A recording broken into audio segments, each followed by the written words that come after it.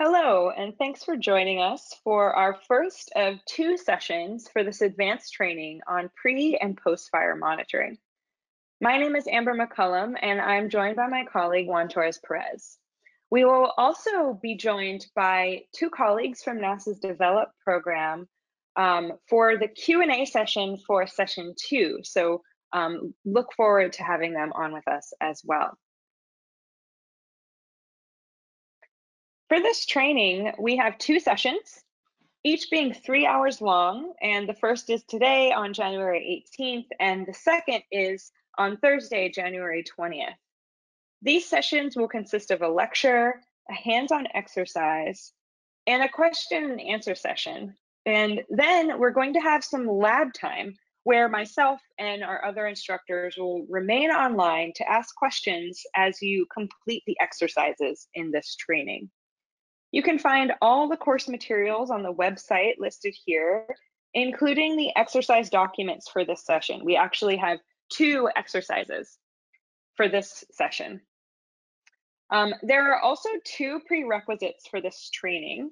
First, um, it's really important to have an understanding of the basics of remote sensing, um, and our course on the fundamentals is listed here. Also, it's recommended that you have attended or watched the materials from the training we held last summer, um, which was a really extensive training on the remote sensing of fires.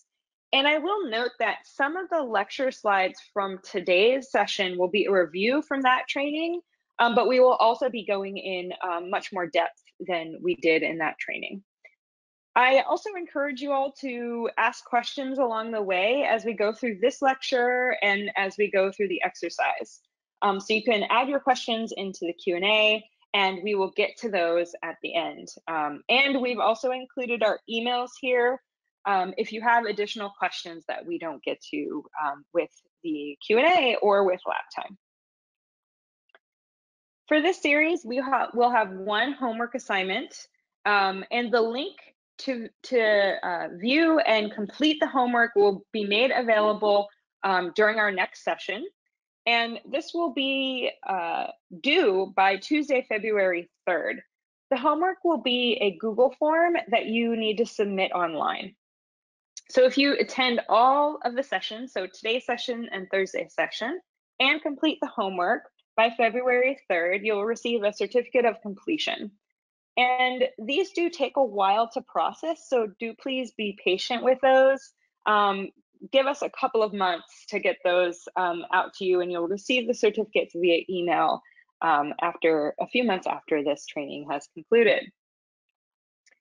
So as I mentioned, this series will consist of two sessions. And during this first session, we're going to be focusing on pre-fire monitoring. And then in the second session, we're going to focus on post-fire mapping. And both sessions, as I mentioned, are, this is an advanced training. So we're going to have some online um, interactive hands-on exercises. So today we'll be looking at a few different web tools for monitoring pre-fire conditions. And then um, next session, we're going to focus on the use of Google Earth Engine for post-fire um, mapping. Here are the learning objectives for this training series. By the end of the training, you should be able to identify land cover and climate variables related to wildfire risk, assess and display geospatial wildfire risk data layers, and then um, in the next session, we'll be creating a burn severity map using satellite imagery and also calculating the burned area um, using our, our Google Earth Engine examples. So I want to remind you all um, that in order to complete next session's exercise, you will need a Google Earth Engine account. And if you haven't already, um, make sure to go to the link here and sign up uh, for an account. Um, you can also find this on the training website.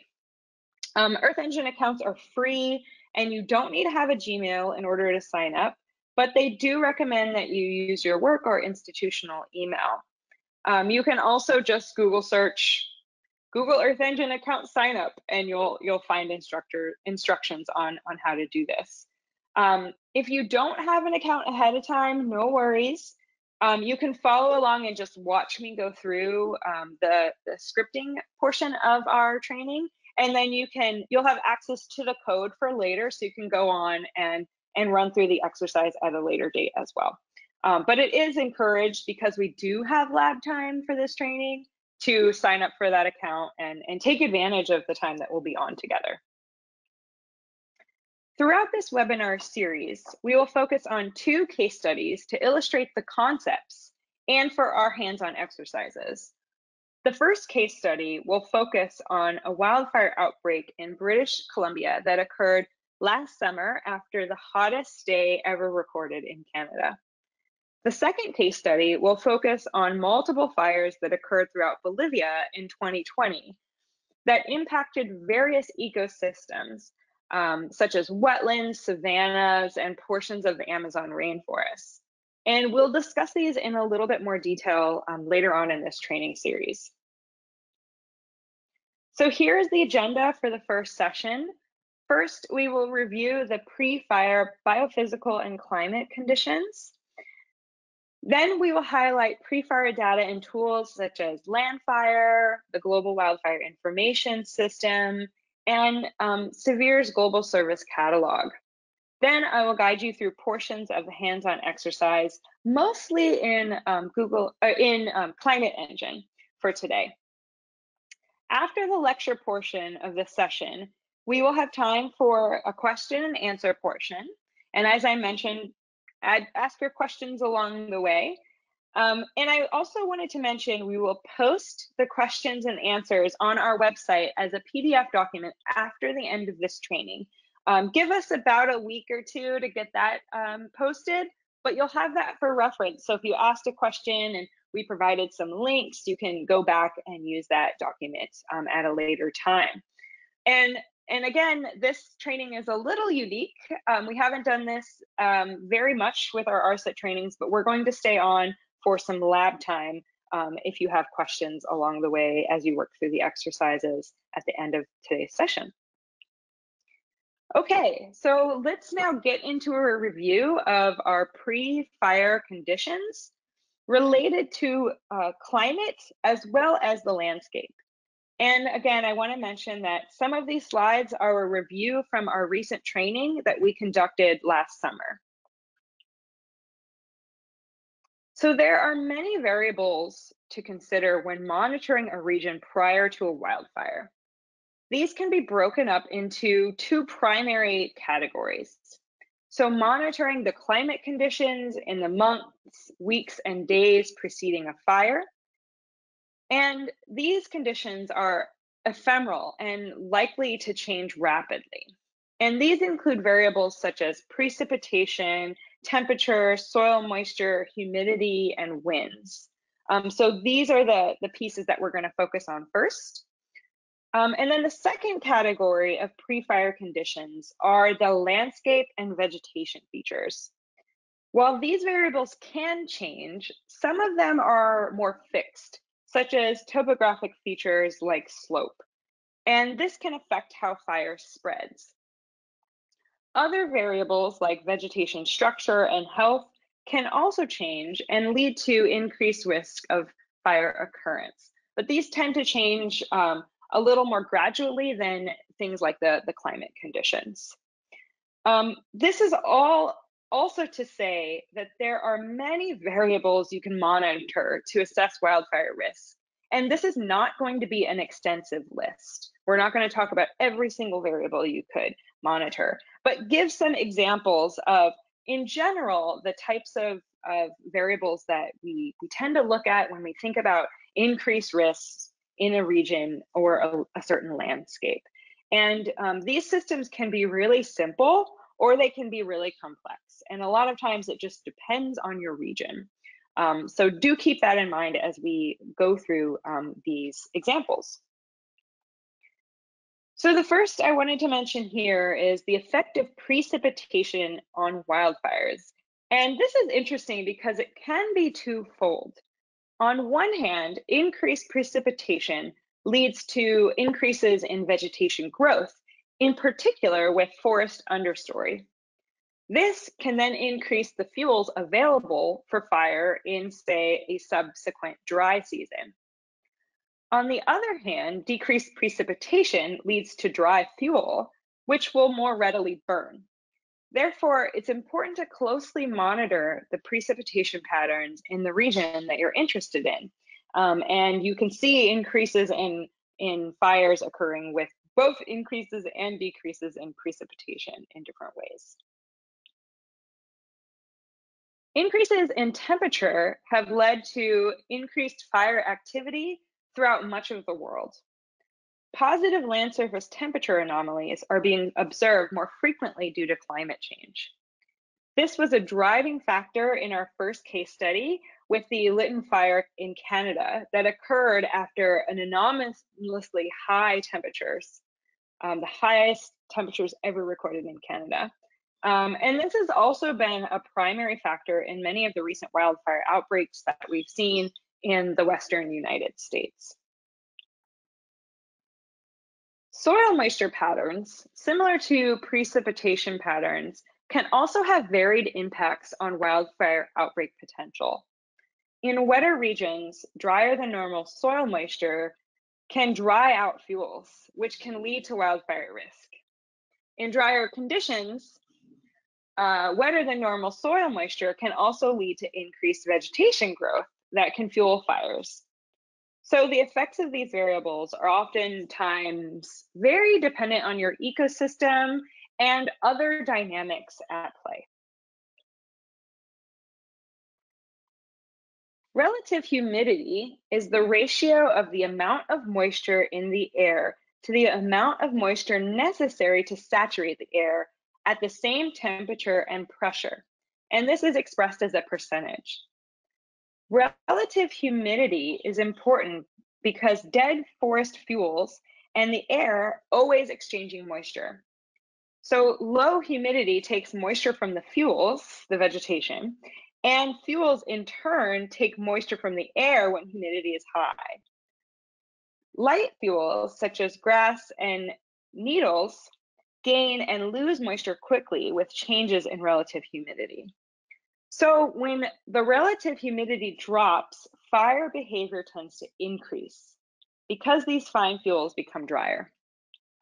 Heavy fuels, on the other hand, respond to humidity changes more slowly. To see significant changes in heavy fuel moisture, there must be significant moisture, usually from more than just, say, a single storm.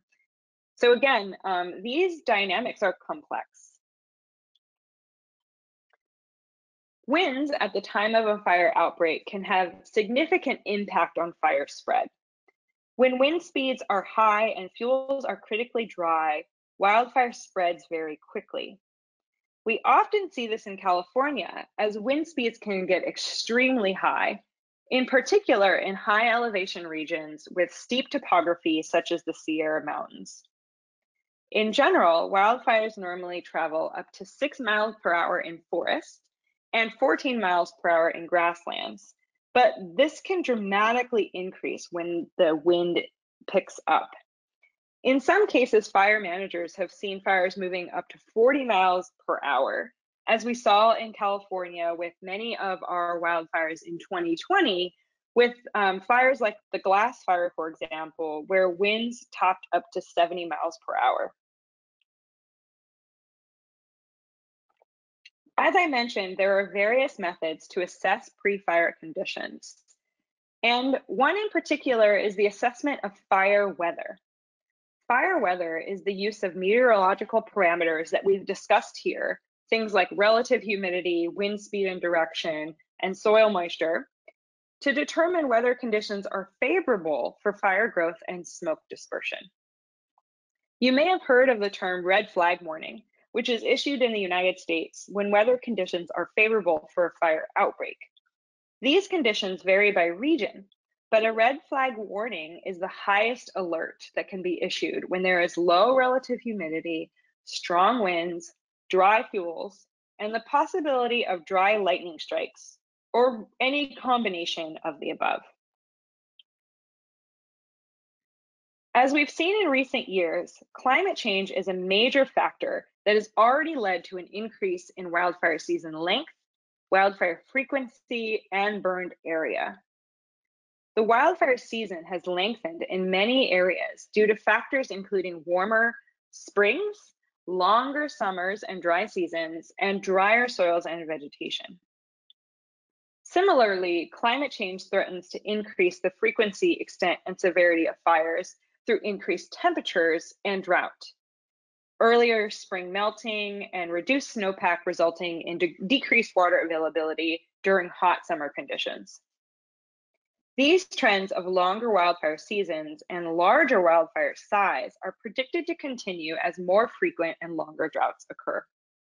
The figure here shows estimates of burned area in the western United States back to 1984 with the red bars, alongside temperature anomalies with the black line, where you can see major increases in, in both in the recent decade. Okay, so now let's move on to the landscape and vegetation properties that can affect pre-fire conditions. As I mentioned earlier, these landscapes features can be fixed, such as elevation, slope, or they can be variable, such as vegetation type, extent, health, structure, and moisture content. So now we're going to go through a few of these examples in more detail. Elevation affects fire behavior by influencing the amount and timing of precipitation, as well as exposure to prevailing wind. Elevation also affects the seasonal drying of fuel. In lower elevations, um, generally where more private land is located, fuels tend to dry out earlier in the year because of higher temperatures and lower precipitation. The opposite is true for fuels at higher elevation. There is also a tendency for more lightning strikes and subsequent ignitions at higher elevations. Slope, that's how steep or inclined the land surface is, impacts the spread of fire. Increased slope often equates to faster fire spread. Fires tend to spread faster up a slope than they do down a slope. As heat rises in the front of the fire, it more effectively preheats and dries upslope fuels, making for more rapid combustion of vegetation. Now, aspect or the direction of the slope affects how much solar radiation the site receives, and it also affects the vegetation type. South and west facing slopes tend to have less vegetation and lighter fuel loads, particularly in low elevation forests. South slopes receive much higher solar radiation and are warmer, so fuels tend to dry out sooner and more thoroughly during the fire season. In contrast, north slopes have more vegetation and hence heavier fuel loads. North slopes are cooler and more shaded, thus delaying the drying of fuels long into the fire season. But because of their higher fuel loading heavily vegetated north slopes can experience more severe wildfires. So it's important to note that we are speaking from a northern hemisphere perspective when we talk about these different um, aspects and the effects on um, solar radiation and um, vegetation. Lastly, landscape features like narrow and wide canyons, ridges, and saddles can dramatically affect fire behavior.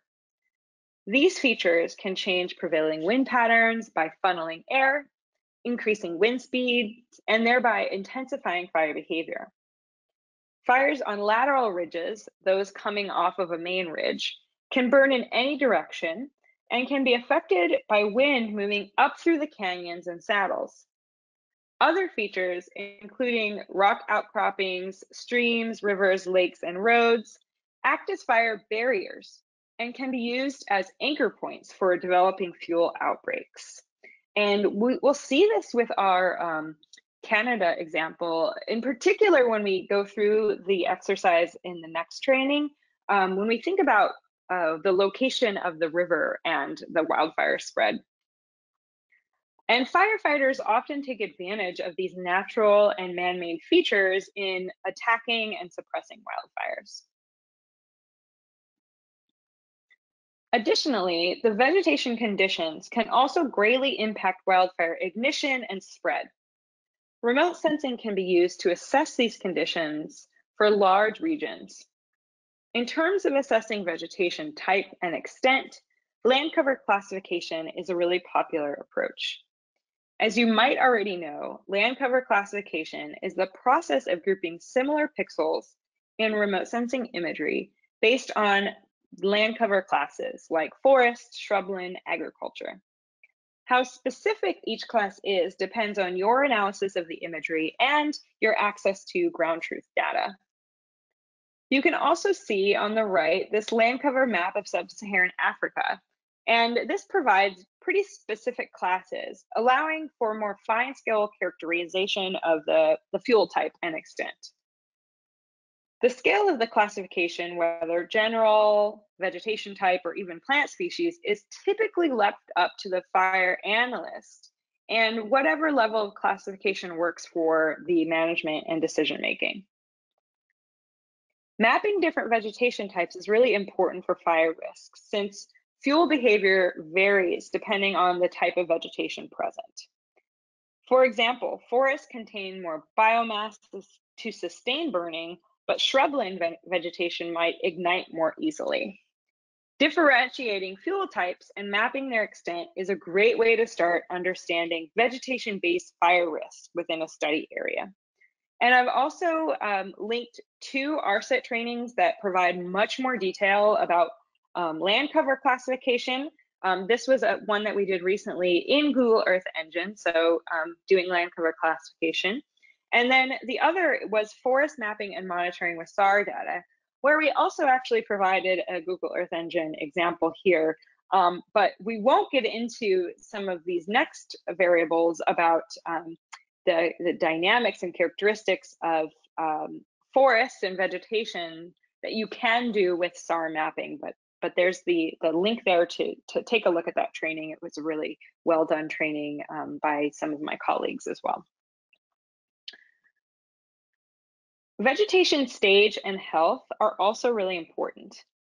Unhealthy vegetation typically has a higher percentage of drier biomass, like dead leaves or drying branches, and this makes the unhealthy vegetation easier to burn. The stages of vegetation can also dictate the amount and types of fuels available for fires. An important component of the vegetation stage is um, thinking about phenology. So phenology is the science of seasonal variation in plant development, um, such as blooms, buds, and crop growth. The figure here describes the seasonal change in NDVI. Measuring seasonal variation in vegetation using land surface phenology from remote sensing data products can demonstrate changes in fuel loads over time. Now, we won't be going into much more depth about phenology, um, but we've provided a link to uh, another recent ARSET training that we focused just on phenology.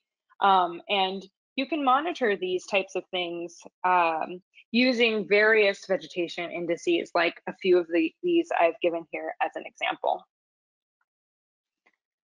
These vegetation index anomalies are often used to show current vegetation patterns relative to long-term averages. So we think about these um, as the difference from average. You can use any vegetation index that works best for your region, as long as you have enough data to establish some kind of long-term mean. And this can be calculated by subtracting the long-term mean from the current value and is oftentimes done on a monthly basis. For example, if the anomaly is negative, this indicates that the vegetation is less green than normal, which may be indicative of drought-like conditions or abnormally high temperatures that impact vegetation health. For example, the VIIRS NDVI anomaly map shown here um, outlines negative anomalies in Northern California on July 3rd of 2020, prior to a large fire outbreak that occurred in August. This NDVI anomaly map supports this point as vegetation was likely drier due to low moisture and high temperatures. Vegetation moisture is an important factor con to consider when discussing fuel ignition and burning. Low moisture in your vegetation acts as drier fuel and will contribute to the spread of the fire, as we've, we've been talking about here. Dry vegetation can also influence the moisture of the surrounding environment, providing more favorable conditions for fire. One method of assessing vegetation moisture is via fuel moisture content, which is the ratio of leaf water content to dry leaf matter. This can also be quantified indirectly via evapotranspiration, which is the sum of evaporation from the land surface plus transpiration from plants. There are also relevant vegetation indices that can provide more information about moisture content, such as the normalized difference water index, the normalized dry matter index, and the evaporative stress index, which we'll go over a, a little bit here.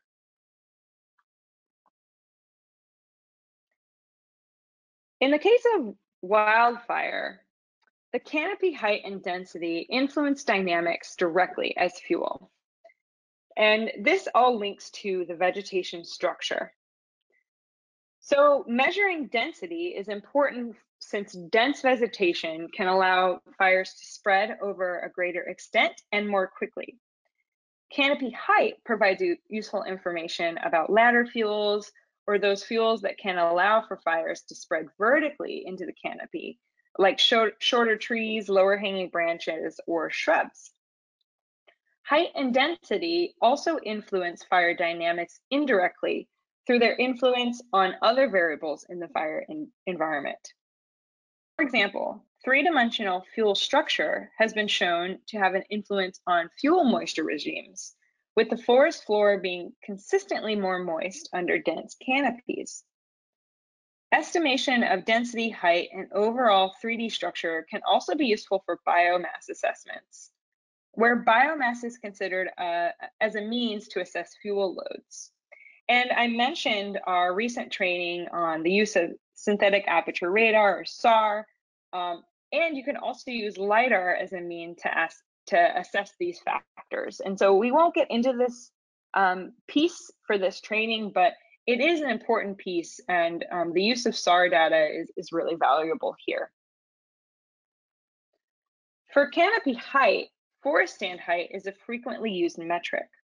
It provides an estimate of the average height of trees in a forest stand, and it acts as a useful indicator of forest age and structure especially in the assessment of above ground biomass. And this, this really makes it useful for that pre-fire stage assessment of fuel availability. And as we mentioned previously, mapping vegetation height over a forested landscape has been done um, with, for example, the maps you can see here on this slide, and also provides information about ladder fuels. And again, I'll, I'll re reference the uh, ARSET SAR training we did recently.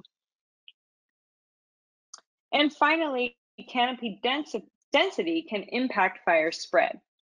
Now, when we talk about canopy density, we're typically referring to structural elements like openings in vegetated areas, single trees separated from stands, and clumps of trees with adjacent or interlocking crowns. Closer together, denser vegetation provides consistent and more accessible fuel loads for fires, influencing their ability to spread across a landscape. When mapped, like the figure on the right, created using LiDAR data, dense and sparsely vegetated areas are identifiable over the entire landscape. Landscape scale mapping like this can help us identify areas where fires may spread more readily or have greater access to fuels. So now I will briefly review a few um, fire danger assessments. And as I mentioned early on in this lecture, outlining fire danger can be done in a really simple way or it can be done in a very complex way. Um, and there are a variety of methods to assess fire danger. And whatever you do in your region can can really vary depending on the type of data you have available, um, what metrics your decision-making activities or entities use for um, making decisions on risk. Um, so these can vary widely, and there are just a few examples out there. So let's start with two definitions um, using this example from the UN Food and Agriculture Organization's forestry program. Um, and fire danger here is a general term used to express an assessment of both fixed and variable factors of the environment that determine the ease of ignition, the rate of spread, difficulty of control, and fire impact. In other words, where a fire can start and how it will move. Fire danger rating is a component of a fire management system that integrates the effects of selected fire danger factors into one or more qualitative indices of current protection needs. Fire danger rating systems were developed as tools to provide a uniform starting point for fire management agencies to prepare and respond to fire. The picture here is a public fire danger rating sign um, from Thailand.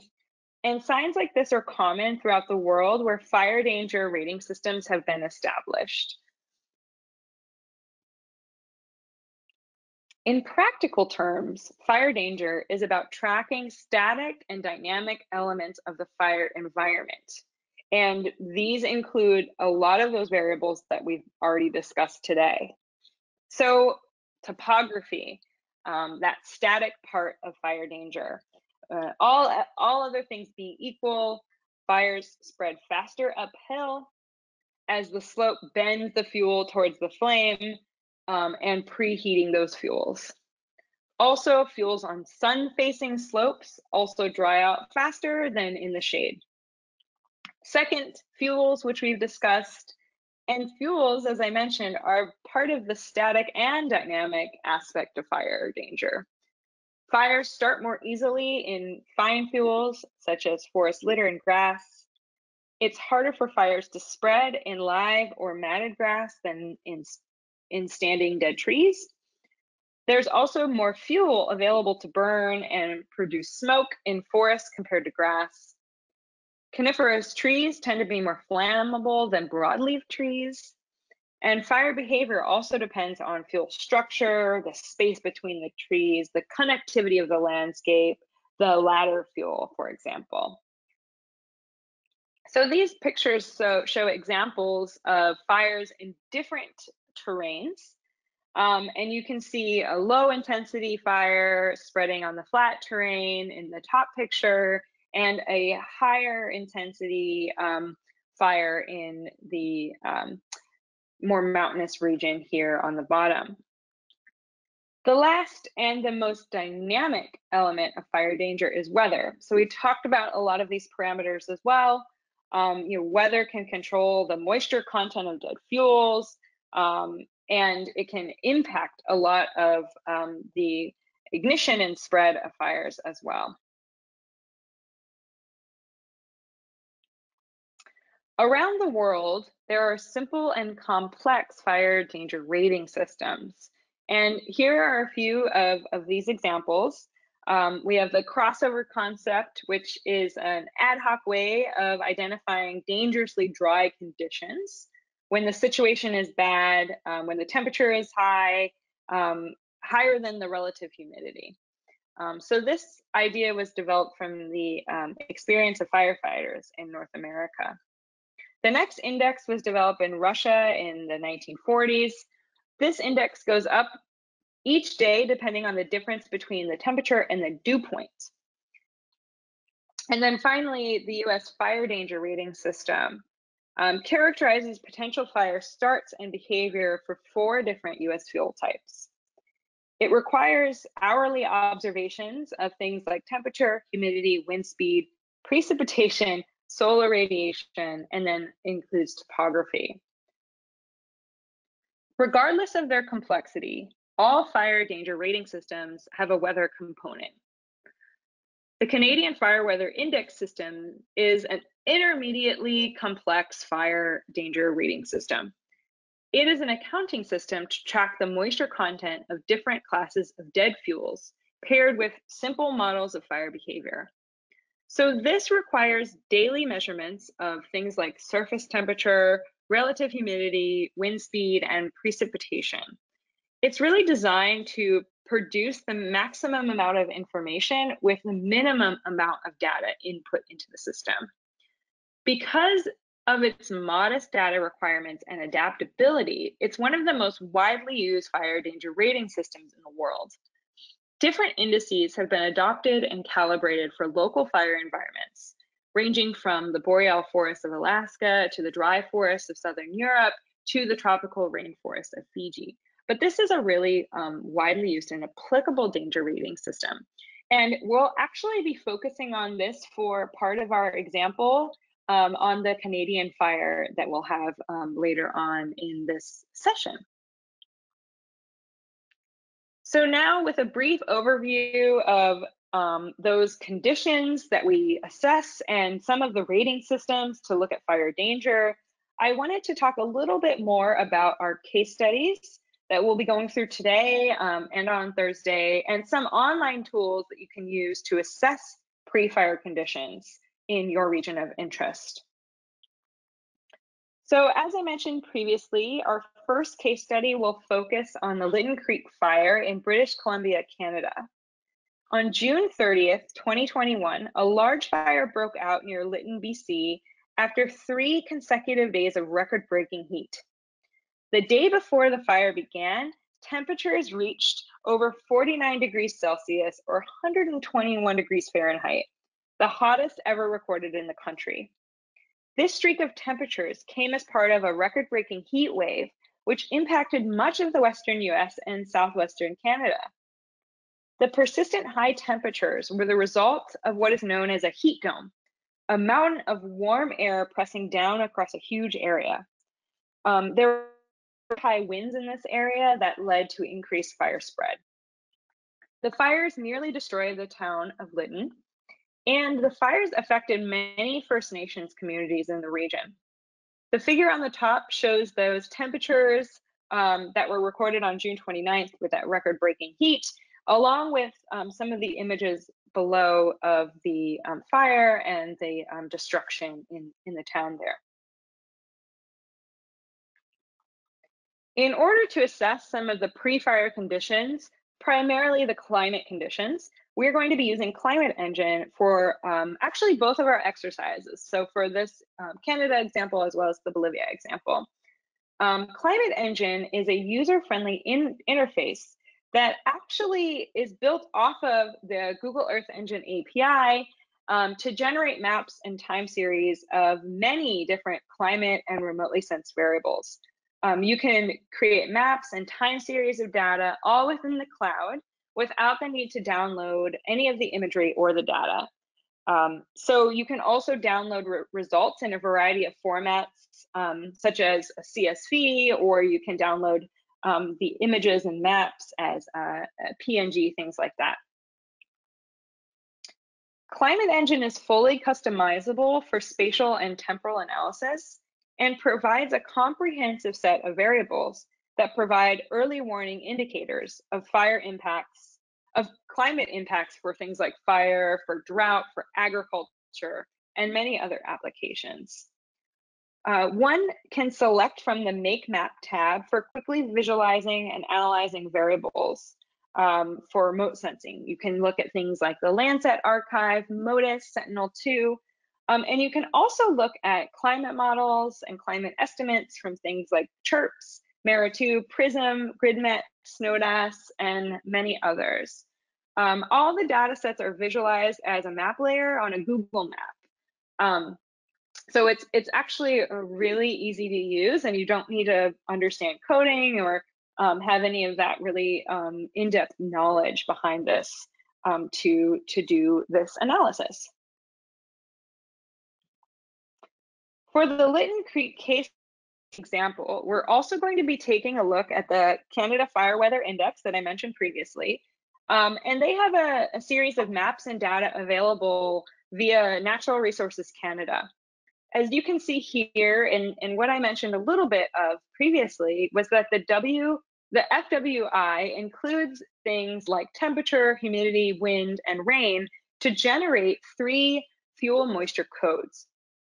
These are generally represented as unitless codes in, instead of fuel moisture content. Um, they can be converted into moisture content and in fact are converted each day as part of the daily or hourly calculations. So this includes things like the fine fuel moisture code, which represents fuel moisture of forest litter um, in the fuels under the shade of forest canopy. It also includes the Duff moisture code, which represents fuel moisture of decomposed organic matter underneath the litter and the drought code, um, which represents deep drying in the so then using these codes, um, the initial spread index and the built, built up index are, are calculated. Um, the initial spread index is the numeric rating of the expected rate of fire spread. It combines the effects of wind and the um, fuel moisture, fine fuel, fuel moisture code um, to assess the rate of spread. And then the built up index is a numerical rating of the total amount of fuel available for combustion. Um, so this index, as you can see, uh, is shown here in this map on the right, and it ranges from uh, zero to about 35. It can go higher. Um, it actually increases exponentially when you get to um, really anything over 30. And this indicates extreme fire risk. And so you can see here um, an example of the fire risk from July 1st, 2021. Um, in much of Canada, there's extreme risk. Here are two more examples of maps produced by Natural Resources Canada, including seasonal forecasts. Before and during the fire season, monthly forecast maps are generated at the beginning of each month. Forecasts are based on a 40 member ensemble of predicted monthly temperature and precipitation anomalies using two numeric weather prediction models. These maps include the forecast severity rating, which presents forecasted monthly or seasonal severity ratings. This map shows the predicted conditions un unadjusted for climatology. It also includes things like the average severity rating map, which presents a 30 year average monthly or seasonal severity rating. And this really shows the regional climate climatology of severity. And then, and then finally, the forecast severity anomaly map, which presents the ratio of the forecasted severity rating to the average monthly or seasonal severity rating. So this indicates which regions are predicted to be above or below the regional climatological average in the normalized form. So you have a lot of examples here and um, nice maps that are pre-generated um, for those of you interested in tracking um, fire in Canada. And, and uh, another nice resource from Natural Resources Canada is this interactive map. Um, within this map, you can display things like fire danger layer, um, using the static maps like we showed on the previous slide, but you can also do some during and post-fire monitoring and mapping. And while this training is not focused on actively burning fires, you can view them here. And with many of the um, online tools for um, monitoring pre-fire conditions, they also include things like actively burning fires. Um, so a lot of times these are included in, in particular with the next system that, that we'll be mentioning. So the Global Wildfire Information System um, we'll be taking a look at in both exercises. And um, as you may be aware, this is a joint initiative of the GEO Work program and Copernicus, which is the European service that delivers near real-time data on a global level. Uh, the real goal of GWIS is to provide a comprehensive view and evaluation of fire regimes and fire effects at the local level. Um, this builds on many ongoing activities, and um, they have this really great um, viewer that we'll be taking a look at. And as I mentioned, they had um, they run sort of the gamut of uh, pre, during, and post-fire um, data available. So this is what the current situation viewer looks like. Um, they have fire danger forecasts, which is what we'll take a look at. What we're interested in here is this pre-fire um, danger. And then you can also view things like active fires from MODIS and VIIRS, as well as burnt area um, after some time of the calculations are, are being conducted. Um, so this is a screenshot of what the viewer looks like at the time just prior to the start of the Lytton fire. And here we have the ISI displayed with um, high values indicated in red. And, and when we start to take a look at this example, you'll see that the Lytton fire occurred right in this area of, of really high risk. In our second case study example, we will focus on a large wildfire outbreak in Bolivia that occurred in the late summer of 2020. While fires are common in this region and are generally used as a tool for maintaining pastures and for clearing crop, uh, clearing land for crops, um, the fires in 2020 expanded into really large regions and prompted the government to declare a state of emergency. There was a similarly large outbreak of fires the previous year in 2019 as well. And research has suggested that this may be related to a dry modulation of the Atlantic Multidecadal Oscillation, or the AMO. And this uh, decreases rainfall in the region and increases temperatures. And this is again related to climate variability and potentially related to climate change as we see these oscillations um, being modified with these increased temperatures um, in our oceans. And several ecosystems were affected, including wetlands, savanna grasslands, and portions of the Amazon rainforest. And I will note that with these fires, the damage was not only limited to Bolivia, and there were large swaths of land in Brazil and Paraguay affected as well. Um, it was estimated that over 1.3 million acres of, of land burned um, during these, these large fire outbreaks.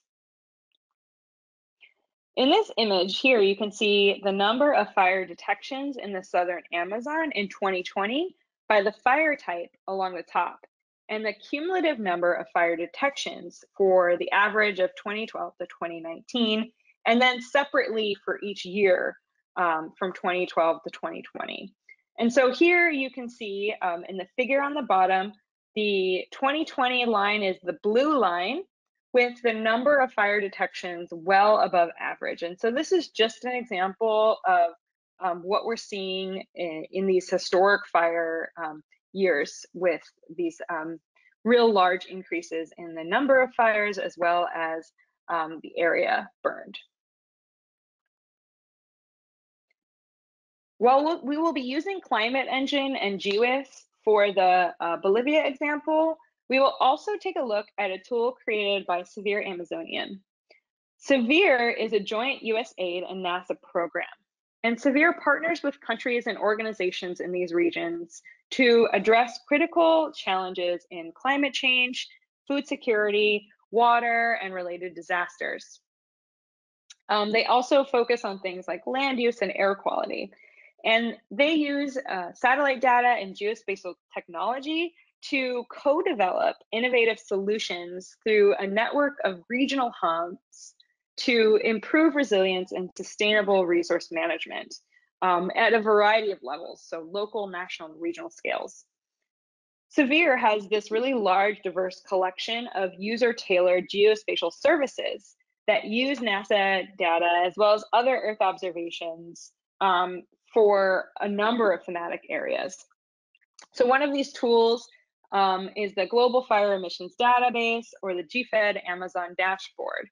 And while this also is primarily a tool for tracking actively burning fires, it can be used to assess fire forecasts along with Firecast, which I'll mention next. And it can be used to assess fire type and extent in the Amazonia region. So it's a really great tool um, that I encourage you all to take a look at and we'll be looking at briefly with our second exercise. And finally, I wanted to briefly mention Firecast, which is an international tool that acts as an analysis and alert system for developing near real-time monitoring products via email to the users. These alerts include risk of fire within a user's specified area, like protected areas or specific land cover areas or user-defined regions. Alerts also include map images depicting the locations of fire risks or fires. The system is operated um, in many South American countries, Indonesia, and Madagascar. So we'll take a look at the 2020 fire season forecast for Bolivia as it applies to the potential for large fire outbreaks in this region. So um, each year they do have um, fire season forecasts for countries and regions within countries that um, can be really informative um, for assessing fire potential. So in summary from today's lecture, there are many factors that contribute to fire risk, including climate variables like precipitation and temperature, as well as landscape characteristics like slope and vegetation density. Fire danger can be assessed using various climate variables and indices and can vary regionally. We also highlighted a few tools that can be used to assess pre-fire conditions, such as Climate Engine, GWIS, the Amazon dashboard, and we'll focus on um, these for our hands-on exercise um, that we'll get to next. Here are some of the links to resources that we mentioned throughout this lecture. So again, I, I really encourage you all to um, use this as a resource. Uh, we'll be going through some of these as well. And you um, can uh, access this presentation um, on the, the course website too, so you can have these all for reference later on as well. Okay, so in the remaining time together for this training, we are going to have um, three interactive portions. So first, um, what I'll do is walk you through the steps of our first exercise for our case study example for the Lytton fires in Canada. And you can either follow along with me during this exercise, or you can work on your exercise at the end of the session during the lab time. Then we'll have a period of time for um, question and answer session. So as I mentioned, I encourage you to add your questions along the way.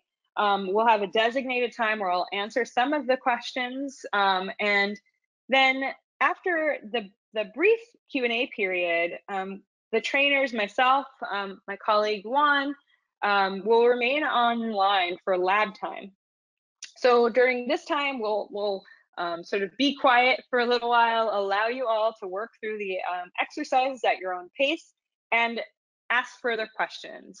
So during this time, we may type in um, our answers to your questions, or um, if we have a lot of similar questions or people running into similar issues, um, we'll just pause and maybe pull up our screens and talk through some of these examples here. So um, this will really kind of just flow depending on how, what kind of questions you all have, the questions that are coming in now, and um, how you all work through the exercise itself. As a reminder, here's our contact information for myself and my colleague Juan. Um, you can find all the information about the training, including the links to download our two exercises for today um, at the training website shown here.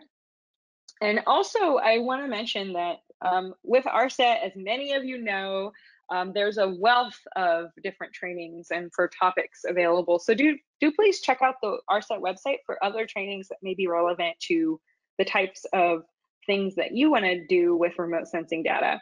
Um, and you can also follow us online at Twitter, and we have um, information on upcoming trainings and events um, located there. So now we're going to jump right into our first hands-on exercise um, where we're going to be monitoring pre-fire conditions for the Lytton, Canada example.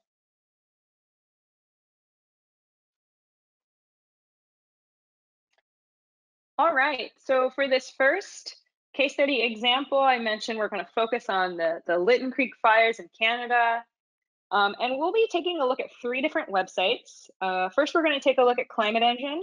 Then we're going to take a look at the Canadian Wildland Fire Information System. And then we're going to take a look at the Global Wildfire Information System. Um, and we'll be going through Climate Engine for this example as well as our other examples. Um, so I want to mention before I get started, you can follow along with me using the PDF of the exercise documents found on the ARSET training website, or you could just sit back and listen in and refer to those exercise documents later during the lab time. Uh, the exercise documents will take you through step by step all of the steps I will be going through. Um, so no need to, to try to keep up and follow along, um, but you can if you'd like. I will also mention that with Climate Engine in particular, um, it's best to use Google Chrome. Um, and when we start to generate some of the maps, especially when we look at um, difference from average conditions, it can take a long time to run the processing. And it really also depends on your bandwidth that you have, um, how great your internet connection is in your region. So um, if your map takes a really long time to load, you can always use the reset option and restart everything. But I just want to mention that here. I'll mention that again as we go through um, the, the example today as well. Um, so let's go ahead and jump right in. Uh, what you're seeing now is the Climate Engine main web page. Um, they've they've just modified a, a, few of these features here, um, but what we're going to take a look at is their research application. So if you come right up to the top here and click on Research App, you can learn a little bit more about the application and go to the app here. And when you first arrive to the Climate Engine website, uh, you'll be given an option to take a tour, and you can do this um, if you if it's your first time using Climate Engine. Um, feel free to to go ahead and take the tour. We're not going to go through the tour because I'm going to step you through a lot of the the pieces here, but um, you can uh, opt to not show this window again if you don't want to take the tour. We can close that out there. And what we're first going to do is um, focus in on our location. So one great thing about Climate Engine is it's sort of using the, the uh, Google Earth as its uh, mapping application. So um, you can go in here and type in Lytton, Canada, and click on Center Map. And this will take you automatically to our region of interest. Along the top of the map, you have a lot of different uh, uh, options for the features. Um, one of those is under map, you can change your base map. So you can go ahead and under base map, choose something like the roadmap. Um, sometimes that's a little easier to view. You have some different options here. I'll leave it up to you. Um, but now you can clearly see the town of Lytton here um, you get a little bit of an idea of the landscape surrounding the region. Um, and now what we're going to do is use this left-hand panel to um, select the variables of interest. Um, so we have the option here to make a map, which is what we're going to do. Um, you can also make a graph. We'll, we'll show a brief example of that later. Um, but here is where you really want to fine tune your variables of interest. So along the Make Map panel, um, you can go ahead and keep the type as climate and hydrology. The data set that we're going to take a look at is the NLDAS2 reanalysis. And when you click on the down arrow, you can see there are a lot of data sets available. So you have a lot of options here if you want to play around with this later. But we're going to look at NLDAS2, and we are going to take a look at the precipitation first. Um, so again, depending on the data set that you choose, you have different variables um, as your options. Um, under processing here, um, we're going to keep the total under the statistic. And for the calculation, we are going to take a look at the percent of average conditions. So go ahead and click that there. And then for the time period, you can select a custom date range, but it also has these pre-selected time periods. So things like the last June, July, August are really useful. And in particular for this example, because the fire happened um, in the, the last year. So then um, you can see the start and end date are automatically uh, modified to the last June, July, August. And because we are doing a percent of average calculation, um, this might take a while to process because what what's going on behind the scenes is there is a climatological average established from 1979 to 2021 and then um, we're looking at the difference from average the percent of average conditions in this example. So go ahead and click on get map layer and wait for the map to load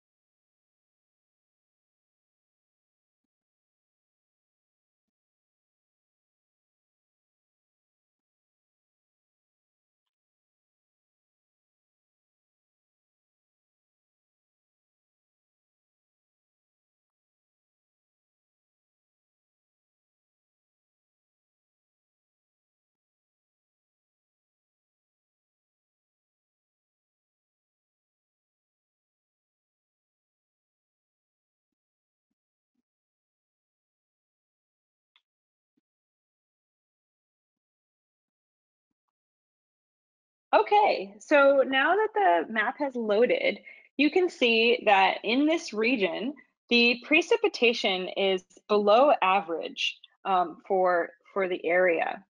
One great feature of Climate Engine is you have the option to get a value in a particular location. So you can click here on Get Value.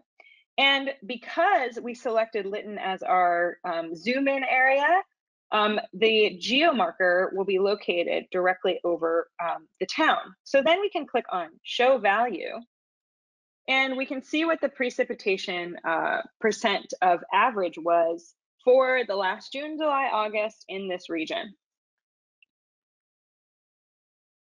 So here you can see the precipitation was um, nearly 40% of average, so um, well below average. We've included a few different optional steps within the exercise, and we've highlighted this in orange along the way. So um, here you'll notice that there are a few different optional um, steps where you can look at different time periods and take a look at the precipitation. Um, you can also compare various drought indices um, in this region to reflect other climate variables like uh, the precipitation anomalies. So what we can do here is very easily change the variable to the standardized precipitation index or the SPI.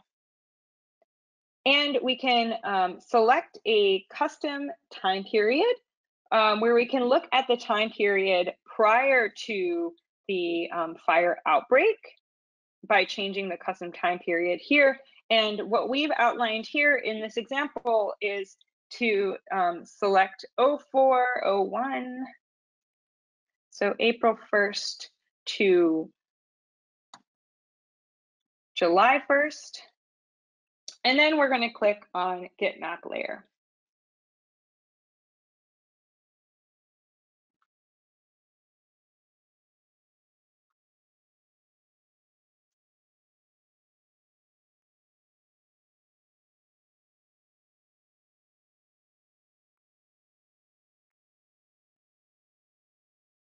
Now you can see the standardized precipitation index. So this is also an index that uses precipitation anomalies. Um, and you can see in the um, red regions um, is a uh, lower than average precipitation. If you click here along the yellow question mark, you can get more information about um, the SPI and its uh, US drought monitor categories. You can see that much of this region was an exceptional or extreme drought. Um, so really prone to um, a fire outbreak here.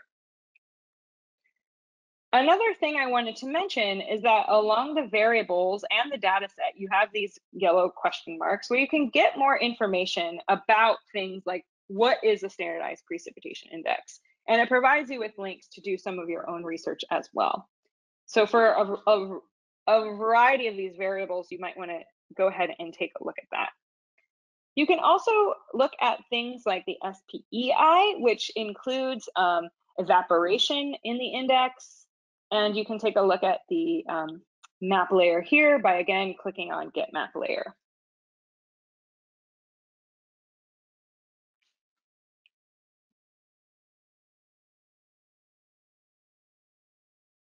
And we can see similar patterns, maybe a little less extreme when including the evapotranspiration. Um, but you have the option to look at these various um, drought indices as well. We can also take a look at the North American Drought Monitor, which is a cooperative effort between Canada, Mexico, and the United States. So along um, our Get Map or Make Map layer um, panel here, we can change the data set to the North American Drought Monitor. And then we can take a look at the drought classification, ensure that the statistic is the mean and the calculation is the values. And then again, for our time period, we're gonna take a look at the last June, July, August. And click on Get Map Layer. And here you can see that um, the, the drought is, the classification for the North American Drought Monitor is a little bit um, less severe. Again, we can click on Get Map Value and show this for our particular region of interest. And here you can see that the value um, is uh, 2.3. And in this classification system, a, a, a, positive value indicates more severe drought. Um, so you can again um, see what these de designations are. So another variable that we discussed in the lecture is temperature. Um, so now we'll, we'll take a look at some temperature parameters um, during this time period. And again, for this fire in particular, temperature was a really big driving force in the, the fire outbreak. So um, what you can do here um, is click on reset along the top, and this will bring you right back to all of the parameters of the map that are default when you very first come to the application, including even the, the, the tour here. So um, I recommend using this also if you have issues with your map loading um, and processing, maybe timing out. Um, so you can always use this to, to reset. Um, again, we'll come to Lytton, Canada, as our um, place of interest where we want to center our map. We can change the base map. Let's try one out like um, you could try the road map. You can take a look at terrain. Let's just go for the road map again. And here along the, the panel, we are going to keep the climate and hydrology. We're going to again use our NLDAS2, our reanalysis. And for this, we're going to take a look at max temperature. Um, so this is the variable that came up um, as the default. We're going to look at the mean and we're going to look at the difference from average conditions as a starting point. And again, we're going to take a look at the last June, July, August. And click Get Map Layer.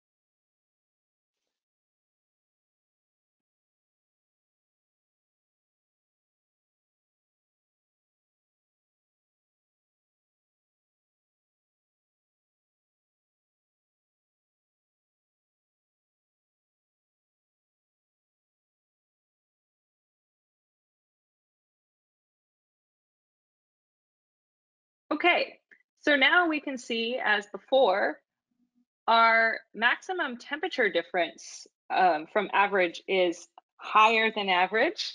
Um, again, we can use the get value option to show the value in Lytton.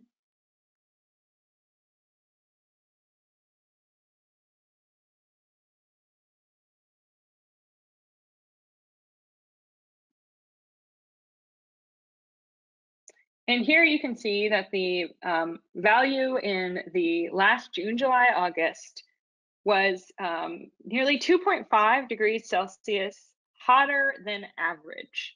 Um, so this is quite significant. Um, another optional step here is to take a look at the um, temperature differences from um, a different uh, climate model. You can take a look at the FS reanalysis or MERRA-2.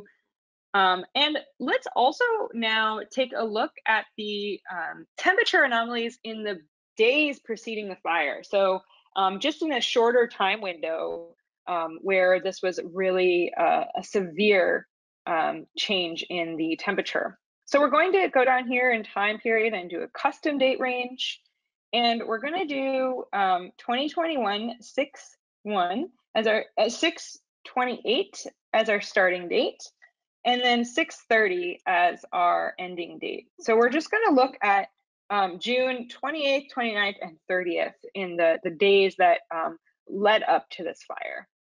And now um, get map value or get map layer.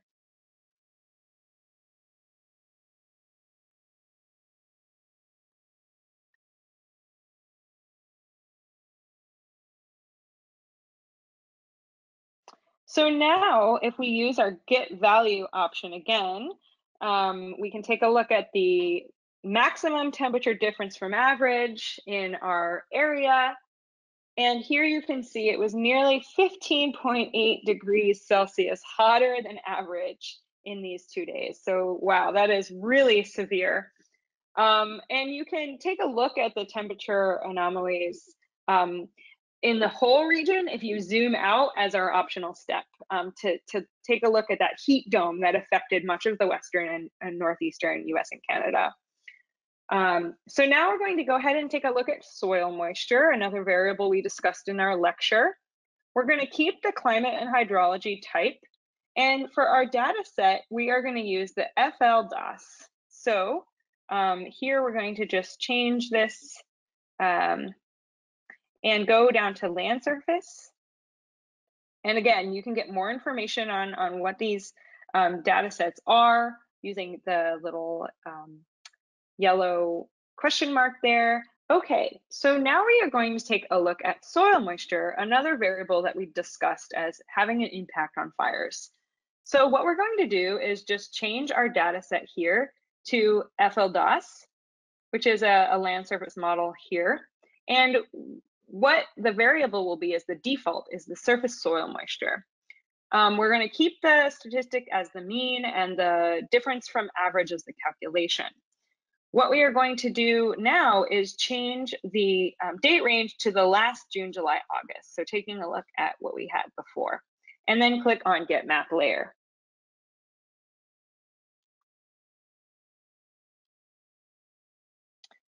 Okay, so now you can see that the surface soil moisture in this region is, is variable.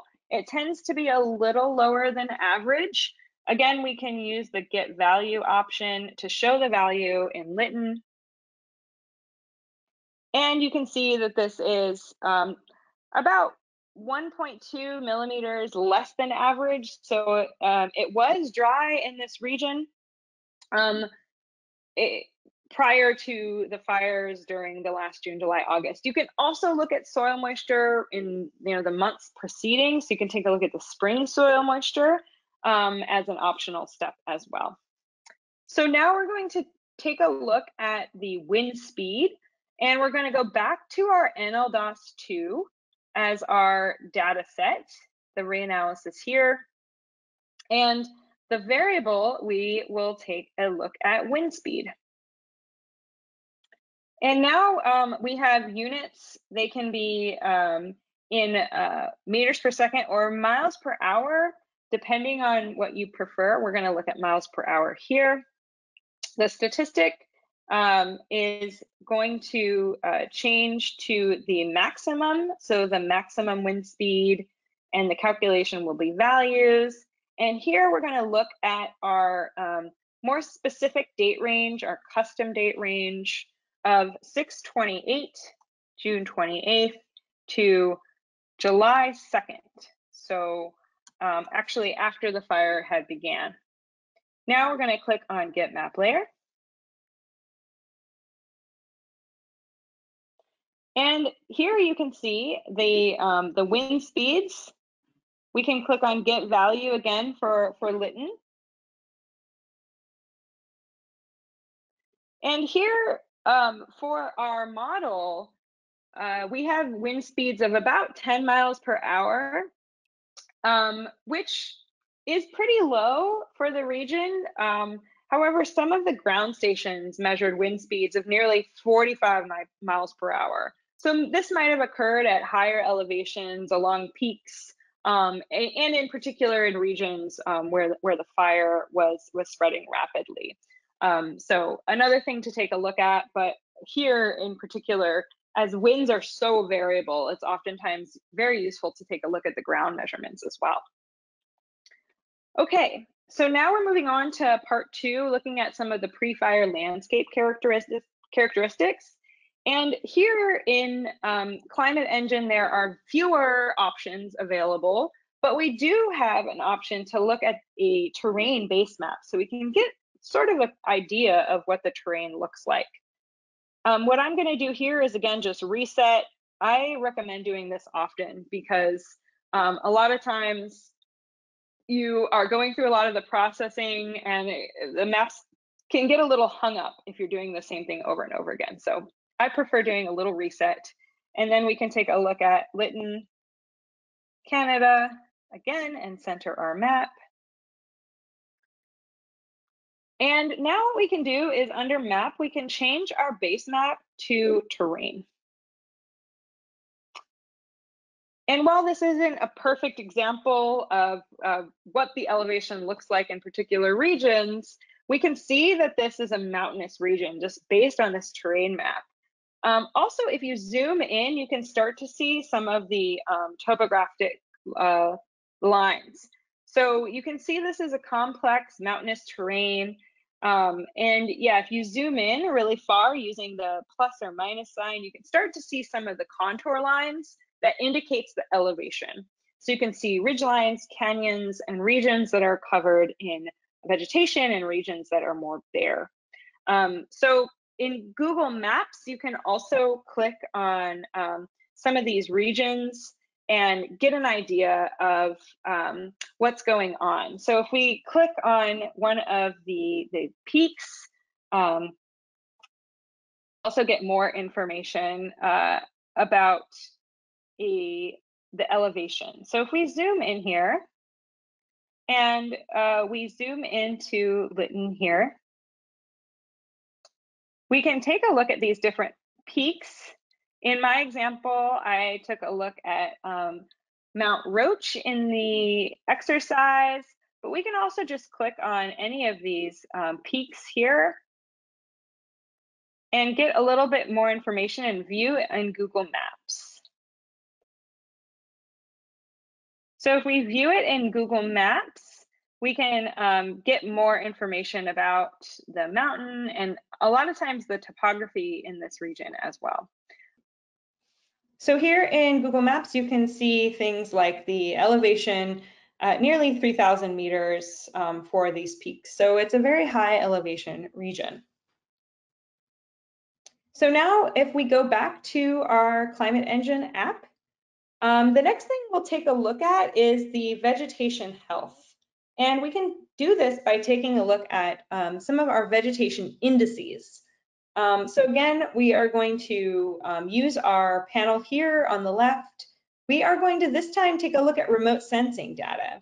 So this is another option. Um, you see when I change remote the type to remote sensing, the data set here automatically changes to Landsat. What we're going to take a look at is Sentinel-2 in this example in Sentinel-2 surface reflectance. And we have our NDVI, which is the normalized difference vegetation index, as our vegetation index selected. We're going to take a look at the uh, mean and the values. And for the time period, we're going to take a look at the last northern water year. And then click on Get Map Layer.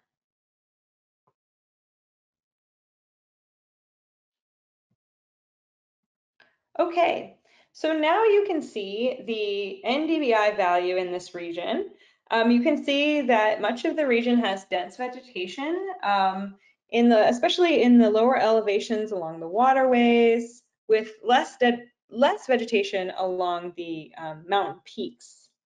So now we're going to just make sure that our map is um, sort of centered back on Lytton. We can zoom out a little bit, and when we do that, um, the processing will uh, expand to the larger region, as you can see here. Um, while this is useful, it doesn't really say much about the health of the vegetation. Um, so what we're going to take a look at now is the um, percent of average conditions. So we're going to keep Sentinel-2 and NDVI selected. Then we're going to take a look at the calculation being the percent of average conditions. And we're going to change our time period to the last March through May. So this is the springtime preceding the fires. And we're going to click on Get Map Layer.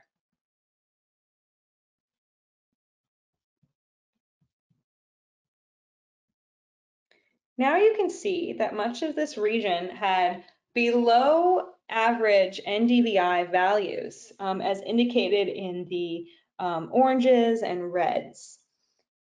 We can also do this for the um, time period just prior to the fire and during the fire outbreak. So we can take a look at this in the last June, July, August. And again, click on Get Map Layer.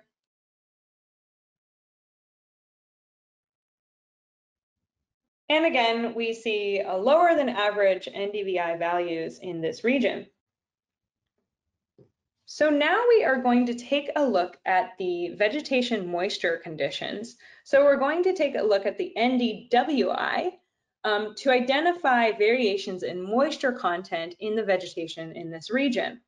So here we're just going to change the variable to um, the NDWI and we're just going to choose the near infrared and shortwave infrared, this first option. There are a variety of ways to calculate this index, which we won't discuss here, but just select the first one for this example. And then um, we are going to ensure that the statistic is the mean, the calculation are the values, and then um, we are going to take a look at the typical NDWI values in this region. So we're going to take a look at the entire period of record and click on Get Map Layer.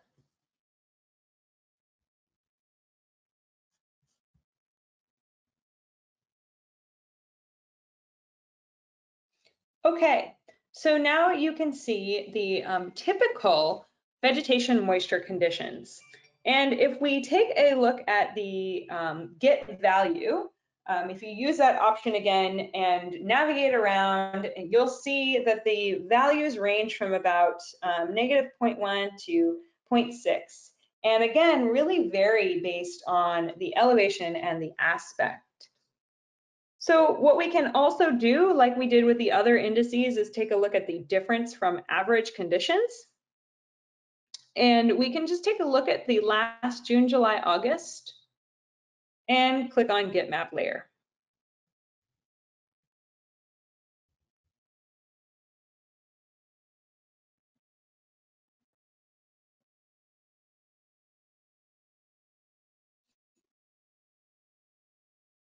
And now you can see that um, the vegetation moisture difference from average is a little below average, in particular in the region around Lytton, um, in particular where the fires actually occurred. Um, so just another uh, way to assess pre-fire um, vegetation health. So now we are going to take a look at um, a really new and cool feature in Climate Engine is uh, fire danger. So we talked about the Fire Weather Index as a component of the Canadian Forest Fire Weather Index. And um, again, it's it's based on these these variety of indices that use things like temperature, precipitation, humidity. Um, again, we're just going to reset our map as a starting point, and then we're going to zoom into Lytton, Canada again to center our map.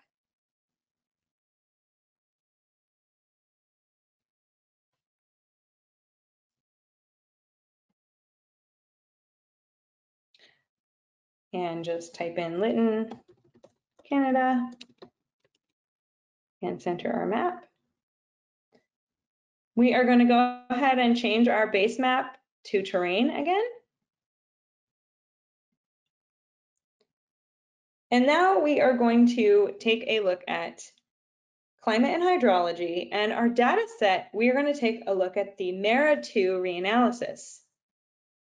And in this uh, analysis, we have the fire weather index as an option. And this is an option available just for um, the US and portions of Canada. So this will not be available for all of your regions, but it's a great example for, for this area. For the statistic, we are going to um, look at our maximum and the calculation will be the values. And again, we're going to take a look at the last June, July, August, and click on Get Map Layer.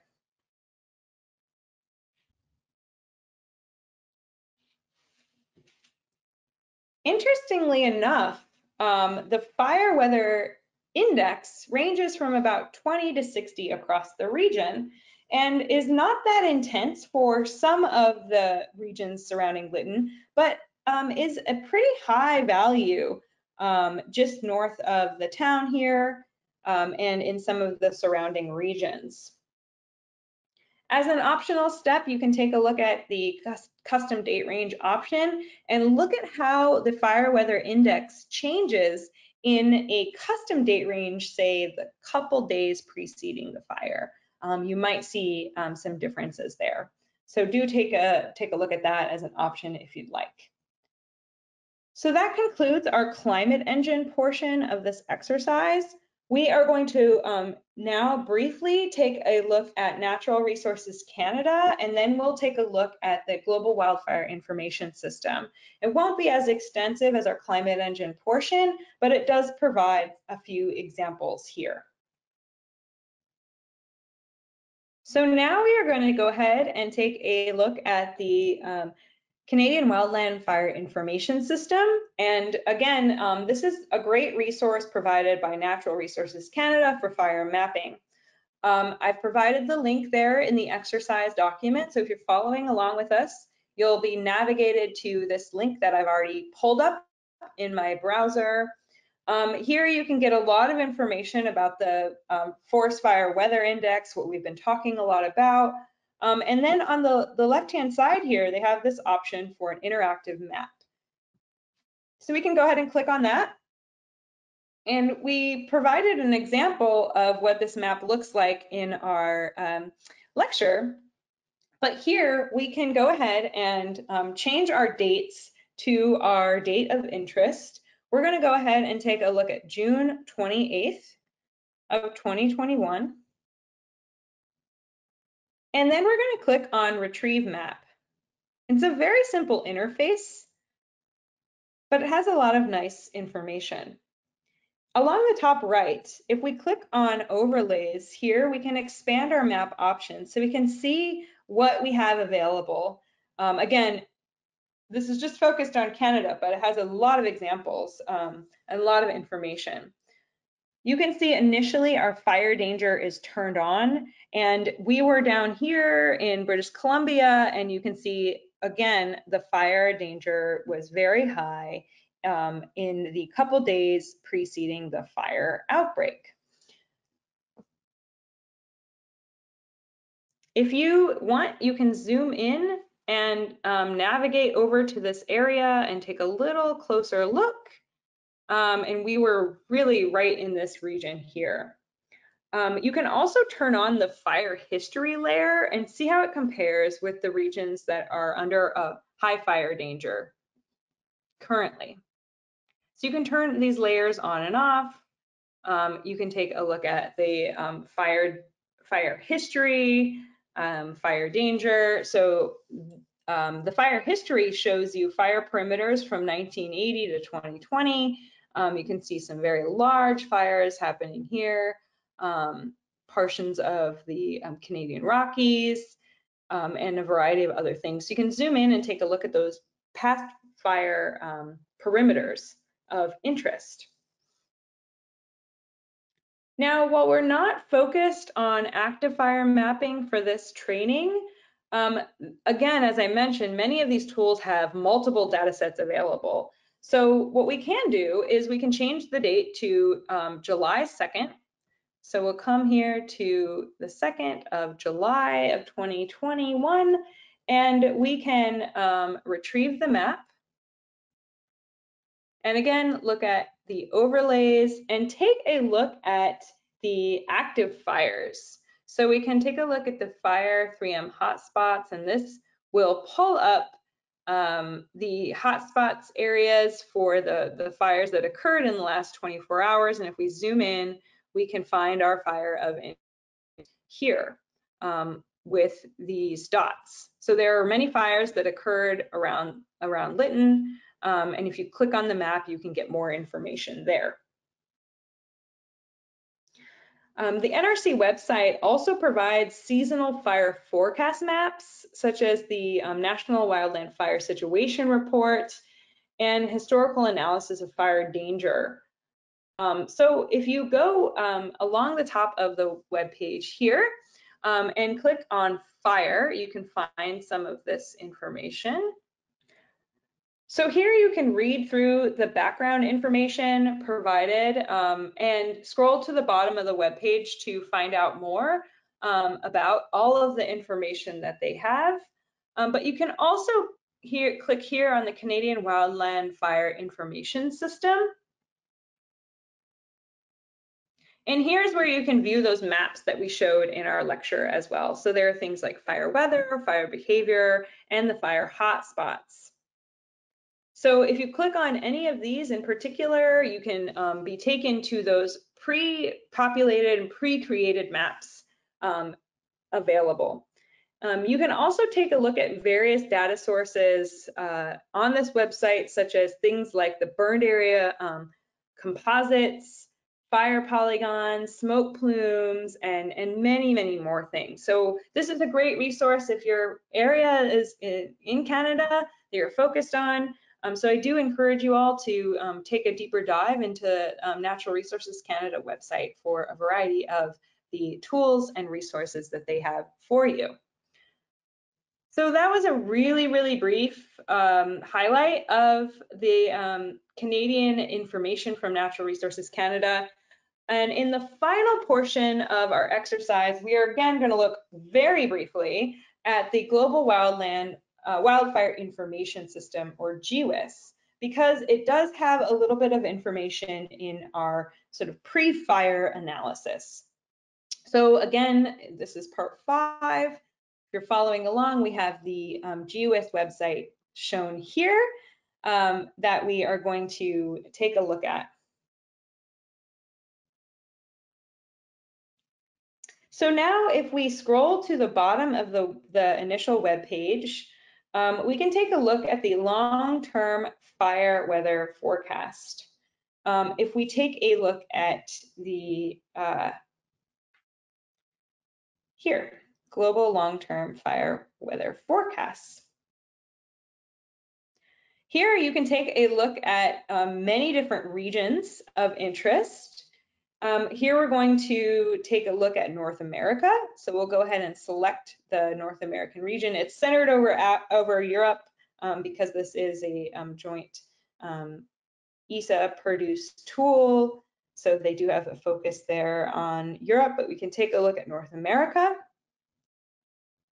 And here you can see the monthly and seasonal maps of temperature and rainfall anomalies.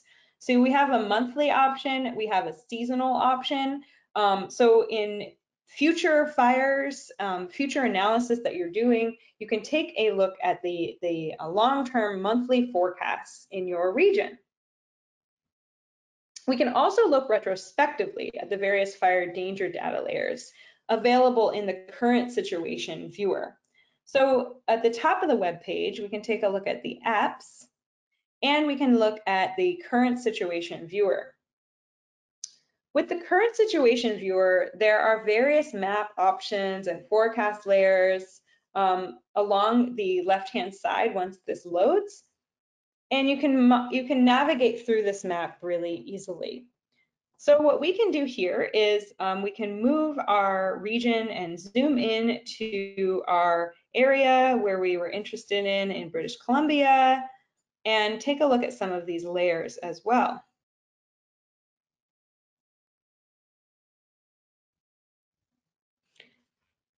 So now we can take a look at um, the forecast tab. So if we take a look at the forecast tab, we see fire danger forecast here, and we can take a look at June 28th, 2020, our time period of interest. So just by using this navigation to go backwards and click on June 28th, And we are just going to take a look first at the um, fire danger forecast. So we can go ahead and turn this on. And now we can see the um, fire danger rating, similar to what we were viewing in our Climate Engine website, although this is um, available globally. So you can, again, you can zoom out of the map and see this in many portions of the world. Um, during this time period, I mentioned the, the heat dome. So much of the Western US as well as British Columbia were um, under this uh, fire warning. Fire, fire danger was very high. And we can take a look at um, the table of the fire danger forecast to see what this really means, what the values mean. Um, so the other options available here as well are some of the uh, variables that tie into the fire weather index, like the initial spread, the built up index, the fine fuel moisture code. You can take a look at all of these different layers. Again, we have an information icon, and this is very similar to the yellow question mark that we had in Climate Engine where you can take a look at what these values mean. So you can see the fire danger classes and the fire uh, weather index ranges and what they mean. And we've included this table in the exercise as well. So you can take a look at what the colors are and then where the fire danger rates um, along the map as well. So if we go back to our current situation viewer, again, I mentioned a variety of indices here. We can take a look at things like the initial spread index and our map will change and populate automatically. And we can zoom into our region of interest to get this information. You can also look at things like the fine fuel moisture code. And we can see that the fuels were very dry during this period um, prior to, to the outbreak. Um, so there are a lot of different data sets available in GWIS. Um, in particular, there's a, a, lot available for actively burning fires. Um, they do also have some burnt area um, data products available. So I do encourage you to explore this in a bit more detail. Um, and we will be exploring this with our second exercise. So do take a look at that and um, take a look at the Global Wildfire Information System. So I know that was a really brief overview, especially of our second um, and third web portals for uh, pre-fire information. Um, but this concludes the exercise for our Lytton, Canada fire break, fire outbreak example. You can see in a variety of ways that the conditions were prime for a really large fire to occur. Now, I've just stepped through our first exercise here, uh, but we do have a second exercise focused on our Bolivia fire examples that looks very similar to what we've gone through here um, for our, our Canada example. So I encourage you all to spend the time during our lab time to, to go through that second example and we'll be here for um, questions that you have along the way. Um, and I do just want to thank you all for being with us today. So we'll wrap up our exercise here. Um, and then we'll we'll get to some question and answer session, and then we'll we'll be around for for questions for um, quite a while um, after the conclusion of this. So um, thank you all, and um, we will now move into our question and answer portion.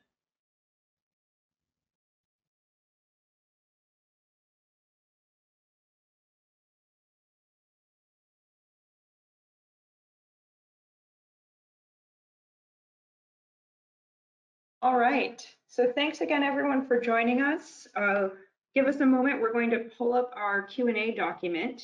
Uh, a few things I wanted to make note of uh, straight off the bat is uh, I realized with so many users online here, um, we have nearly 700 of you today. It looks like we may be overloading the Climate Engine website. So you may have difficulty, you may be seeing an error uh, when you go to the Climate Engine website when you're trying to load um, specific you get to the um, to the initial site. So uh, with large groups of participants um, going onto these sites, we're, we're in a learning process. So apologies uh, if you're unable to access Climate Engine now. Um, I will say that you can come back and um, access Climate Engine at any point. Um, you have the documents with the step-by-step -step instructions there for you. Um, and you also will have access to view the recording of the, uh, in particular, the Canada example that we just stepped through. Um, that'll be made available on the ARSET website within a couple of days. So you could always come back um, and test out these features. Um, and I know we also had a few questions specific to Climate Engine that uh, I'll get to later on as well. Um, so what we'll do now is we'll go through questions um, until about the top of the hour um, as needed. Uh, as we see some questions coming in, we can answer those as well. Um, and then we'll we'll take a pause and and um, maybe we'll see if we're able to get onto Climate Engine and, and you could work through some of those exercises um, until uh, the, the top of the, the next hour. So let's just go ahead and jump right into a few of these questions. Um, some of these were coming in during the lecture portion, so they're more specific to some of the topics we were discussing. Uh, the first question here that's shown is, um, what about anthropogenic factors? Where does this factor in? And that's a really great question. And I would say that that anthropogenic influences on the, the climate and the ecosystem um, can be folded into many of these variables that we discussed during the lecture. Um, you know, for example, we see increased temperatures or changes in precipitation variability and uh, frequency and severity of storms um, as a result of climate change. And so um, we can see anthropogenic influences on the climate in terms of those variables as we're looking at things like differences from average, um, in particular when we're pulling from a long-term 30-year uh, climatology. We can also assess changes to um, the land cover and forest structure due to anthropogenic influences. So looking at things like uh, forest clearing, um, agricultural expansion, urban growth, um, and looking at a time series of imagery uh, over the, a particular area of interest as uh, human influences the landscape. So we mentioned land cover classification in the lecture. So you could do something like this as um, looking at uh, calculating your own land cover classification over many years and seeing how those classes change. Um, you could also look at uh, changes in things like the NDVI um, over time, and, and in, in that you can identify uh, land clearing um, and um, changes to the health that may be related to anthropogenic influences. Um, so so I would say that there are a variety of factors that you can take into consideration when, when looking at these variables that we considered um, in the lecture that can attribute to fire risk. Um, there are also many other factors. Um, and, and one thing we didn't talk a lot about that is a, a growing area of concern is, is something like the urban wildland interface and the encroachment of, of these large wildfires on um, what used to be pretty safe areas where, where folks are living. Um, and so that, that is another area of, of study in terms of, of, risk to communities and risk to structures. Um, so that's something to consider as well. I will say um, in response to looking at forest structure, and there was another question later on about this as well, um, using SAR data is really beneficial um, to look at things like structure and density of forests. And um, I've linked, I've provided the link to a training that we gave last year on forest mapping with SAR data. We had um, another ARSET trainer, trainer Erika Podest, who is our resident SAR expert online for that training. We also had a guest speaker um, who talked about forest stand height there. And so that's another area to explore in terms of assessing changes to forests due to anthropogenic activities. Okay, so um, moving on to question two. Um, this question asks, um, why always after a wildfire event, the same vegetation types and densities that were burnt come back to colonize the same area? Um, and if we could just scroll down, thank you, on the document a bit there. Um, so that's a great question. And um, it also might depend on your area and the vegetation um, of interest within a region that was recently burnt. But um, vegetation regrowth patterns can vary. Um, oftentimes you do see the same types of vegetation and, and, and that can be a real function of the fact that wildfire is a natural part of the ecosystem and contributes generally to the health of, of many forests, um, particularly um, conifer-based forests, where the, the fires uh, will open up the, the um, seeds of the, the trees and actually create the conditions necessary for um, new, new trees and regrowth um, in that region. So um, this is this is a really natural part of the system. You know, in relation to the previous question, we are seeing these these more severe wildfires occurring um, that may be related to changes that are anthropogenically produced, and so um, we are seeing um, sort of unnatural fire regimes in in many of these forests, and um, that that can relate to the way the forest is managed, that can relate to climate change and climate variability, and, and a variety of other factors. Um, but we do often see some of the same vegetation types, and, and that can be due to uh, vegetation itself. It also can be due to the, the climate and um, topographic conditions that are present um, in the region, and, and also the influence of human activity um, and um, restoration uh, activities also in the area. I know that um, in, in many portions where wildfires have burned, there are efforts uh, by uh, groups like the U.S. Forest Service to um, restore that area to the um, natural um, system. So there are a variety of factors that are um, in place there. Okay, um, question three. Interesting question here. Um, how can wildfire affect groundwater conditions, groundwater changes?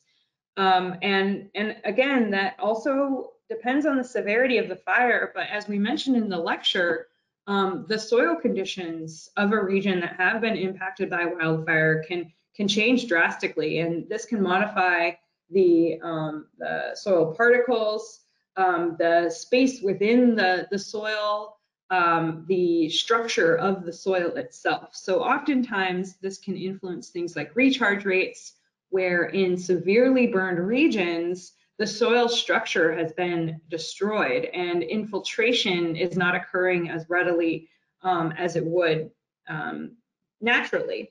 So this could decrease infiltration rates. This could, um, you know, lead to less recharge potentially happening to to the groundwater. Um, and again, it, it, can be uh, very homogeneous and variable depending on your region. Um, but if if, for example, you have an extreme wildfire event and um, the soil is destroyed or the soil has been impacted severely, um, infiltration could decrease. So you could have less recharge to those aquifers. Um, and also the wildfires can lead to increase in runoff in a watershed due to the lack of the vegetation, um, leading to things like landslides, which can heavily impact the uh, watershed, um, as well as um, the surface water in the region, thinking about water quality and, and sediment loading and things like that. And um, I also wanted to mention that in part five of our previous fires training that we held last summer, um, it focuses on um, hydrology-based applications. Um, so assessment of the watershed post-fire. Um, so do take a look at that. We have um, our great uh, water resources trainers who gave that um, session um, provided some more information about that as well. Okay, um, if we scroll down to question four, the question is, what are some examples of heavy fuels? Another great question. Um, heavy fuels can be things like large tree branches, logs, buildings, and these generally are considered to require more energy. Um, and they, they once, but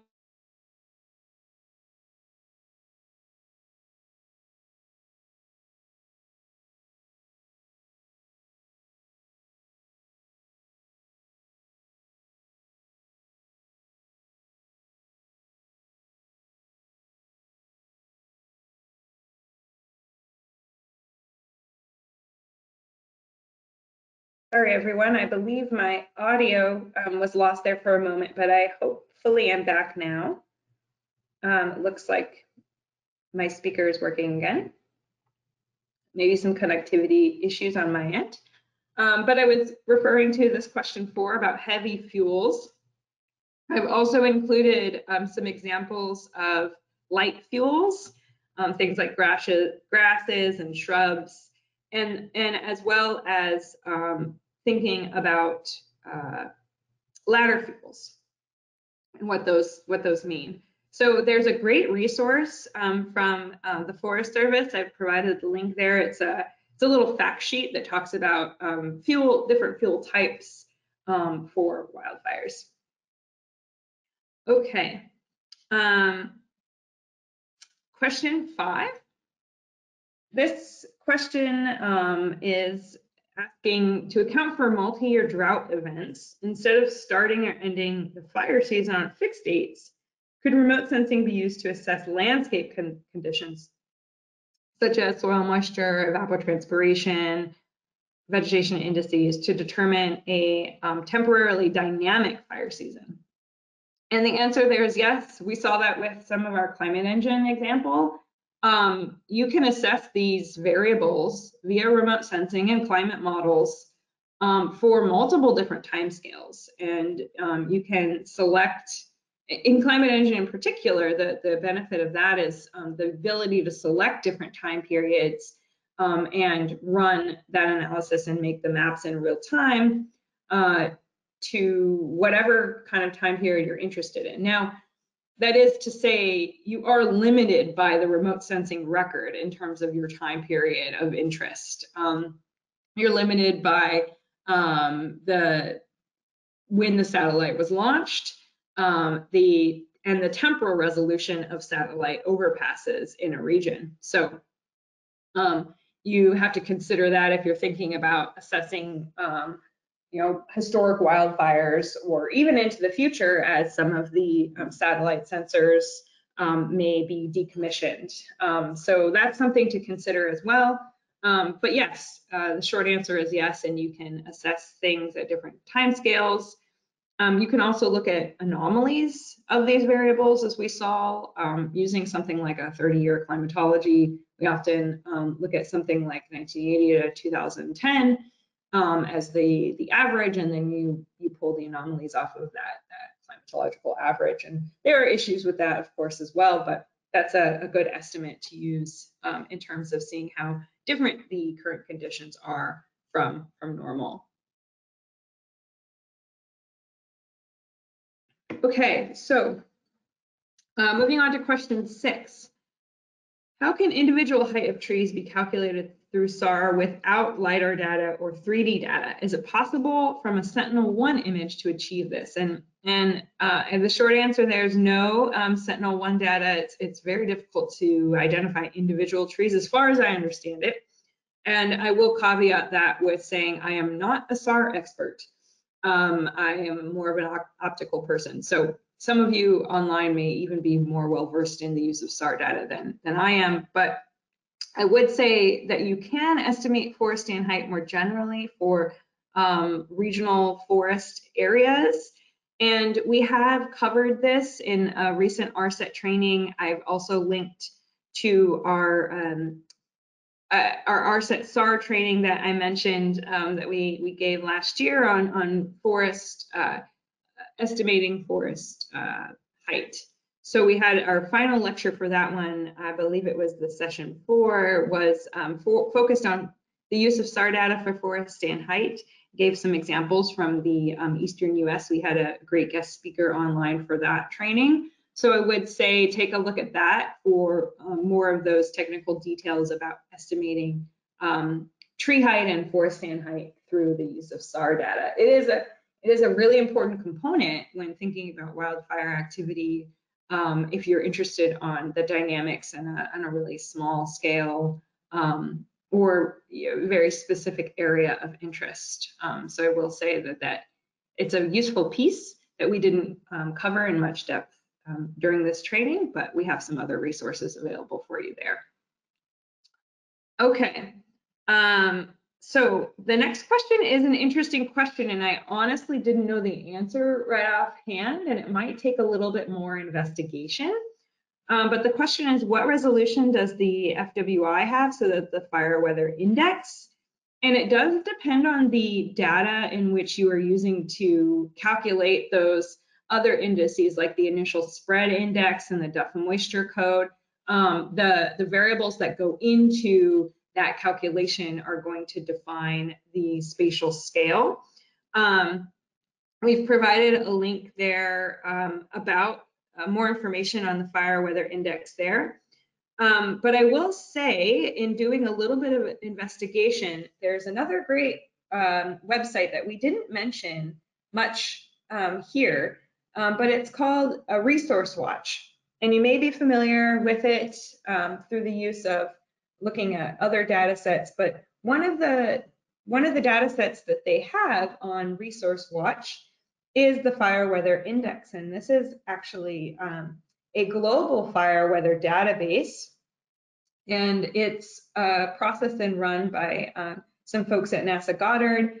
And in, in that data set that they provide on Resource Watch, they state that the um, global daily calculations of the FWI system using these inputs such as relative humidity, temperature, wind speed, a variety of variables, they are uh, providing the data from 2015 to present at a one degree resolution. So that's going to really depend on um, where you are in the world, a 0.1 degree resolution, what that looks like in terms of, of um, kilometers. Um, but that's what they have provided as some of the details there. Um, and we can certainly provide a link to resource watch um, in the Q&A for reference later as well. Um, it's not explicit on the Canadian website anywhere that I found. So um, that's a really good question.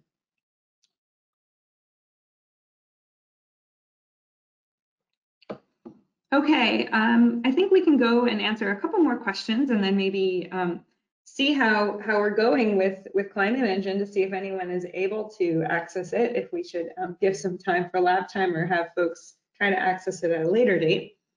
Uh, looks like it's loading for me. I just tried it again. So, but we'll go through a few more of these questions. Um, so the next question asks, is there a relationship between fires and El Nino and La Nina? And the, the short answer is yes. Um, ENSO, or the El Nino Southern Oscillation, um, affects temperature and precipitation patterns globally. Um, so depending on your region of interest and depending on the phase of ENSO, if it's in a La Nina or an El Nino, um, this could impact the, uh, the conditions that um, can influence wildfire outbreaks. So for California, for example, um, when we when we are in a La Nina, we generally see decreased precipitation, especially in the northern por portions of California, and that can lead to um, increased drought and um, conditions that may be more prone for wildfire outbreaks. Um, and in other regions of the world, uh, the phase of ENSO may uh, change those precipitation and, and temperature patterns in uh, different ways. So um, just depending on where you are in the world and the, the current phase, um, it can definitely impact wildfires. Um, I also wanted to mention that in our Bolivia example, we didn't talk through it too much today, um, but research has, has shown that um, the outbreak that occurred in 2020 in Bolivia may have been um, uh, largely impacted due to the Atlantic multi-decadal oscillation, another climate oscillation, the AMO. Um, it's a longer scale uh, climate oscillation, so it stays within one phase uh, for longer periods of time. Um, but they are currently in a phase that results in uh, warmer and drier conditions in Bolivia and they have been for for many years at this point. And so there they there is research that suggests that the um, outbreaks in 2019 and 2020 um, may be partially related to this um, phase of uh, the climate oscillation there. Um, I've also linked a paper on uh, the global effects of ENSO on wildfires um, that I found in doing some quick search. Um, so do take a look at that uh, for more information there.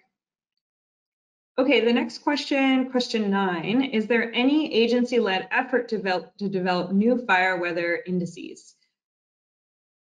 The short answer to that is maybe, and I just might not be aware of it. Um, as NASA, we're, we're not necessarily an operational agency, um, so we're really focused on the use of data and the dissemination data um, through trainings and things like that. So there quite possibly could be, and I'm just not aware of it. I will say that the US Forest Service and USGS uh, work together to produce data and to serve data on fire danger. Um, and I'm sure there are other efforts that I'm just not aware of. Maybe some of you online know, know about other efforts. Um, I, I, did find this uh, resource on uh, the USGS Forest Service Fire Danger Forecasting Project um, that's really focused on the dissemination of some of um, the, the fire danger data. Um, and also, I will say it might depend on your, your area. Um, I'm sure globally there are efforts within countries and agencies in different regions to assess fire danger. Um, so um, short answer there is probably, and I'm not aware of specifics myself. So, um, okay, so I think the next couple of questions start to focus a little bit more on climate engine. So I'll um, answer a few of these as, as I can here. Um, for question 10, the question is, are you able to customize your search preferences within the variable? For example, I'm interested in the percentage of time for June, July, August. Uh, I think they're referring to maybe a step in the exercise, um, 28C. Let's see what 28. Um, I'm not sure what that, that variable is offhand, but I will say that depending on the variable of interest, if you go to um, your processing, it's actually I, uh, it's actually under processing and then calculation. I wrote statistic there, but under calculation, you have a, a variety of options for um, running different statistics. So you can do things like just the total values, but you can also do things like the difference from average, the percent difference from average, percent of average, um, and you can also look at slope um, and correlation um, for a variety of different things. So uh, the answer there is yes, there are some statistics that you can use that are pre-programmed within Climate Engine that are there for you depending on your um, variable of, of interest. Um, and you can just take a look at those options in the under processing and then calculation on the, the left-hand panel there in Climate Engine. Okay, so if we scroll down to question 11,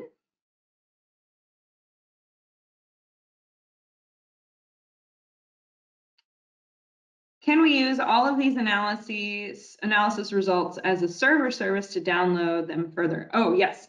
So if you are making a map, there are a couple of different options here. So if you're making a map, you can go along the top hand panel and go to download and you can select a rectangular image and then download um, the map, download that um, square or the rectangular image as a GeoTIFF.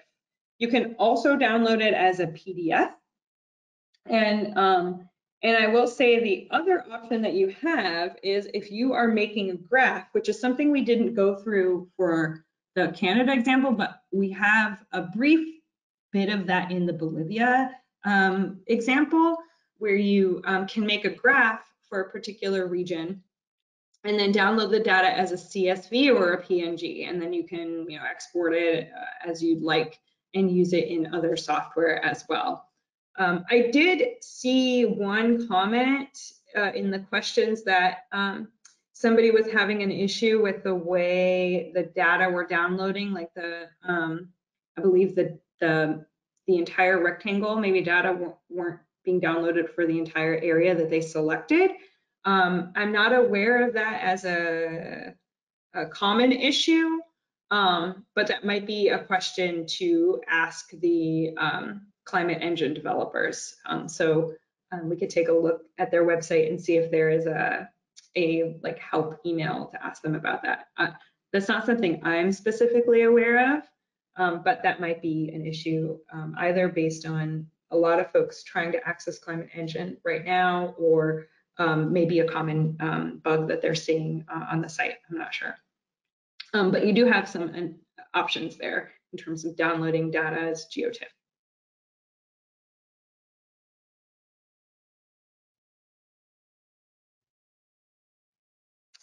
Uh, okay, so the next question, have you had any luck downloading or analyzing the hazard layer um, in Climate Engine? Do we need to process or treat them differently, given that they're usually somewhat static?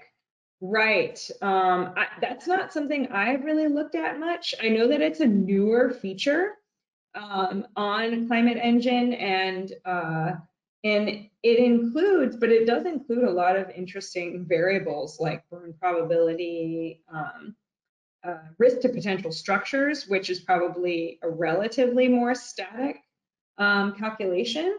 If you do go to, I will say, um, if you do go to the little qu yellow question mark on the Make Map panel, you can click on um, the uh, the data set and get some information on the metrics, um, in particular the wildfire risk to communities uh, data sets there. And um, the, these data are primarily serviced through Landfire. And it does mention that they, um, some of the data, like the fuel loading data set, is from 2014. So as you mentioned, that is a more static um, layer. Um, so yes, I think you would need to, depending on what you're using the data for in your analysis, um, really keep that in mind of what the um, you know, when the, those data are representative of the landscape conditions and co in comparison to maybe some of the climate variables or the, the variables that are changing um, uh, on a shorter time scale and how um, that relates. So I will say that um, those data sets were created by the Forest Service and um, they can be accessed mostly, I think, through Landfire as well. So you can get more information about um, each individual and what year it was produced and, and how it represents um, the, the landscape for that given time period. Um, but that that's a really good question. Um, and also a good a good comment about comparing data that are changing more rapidly alongside data that are not. So looking at things like topography and slope and aspect, um, that's not going to change much. Um, but then when you're when you're also uh, tying in the factors um, like precipitation anomalies, um, the, they are changing at different timescales. So it's a good point and something to keep in mind um, as you're analyzing risk in your region.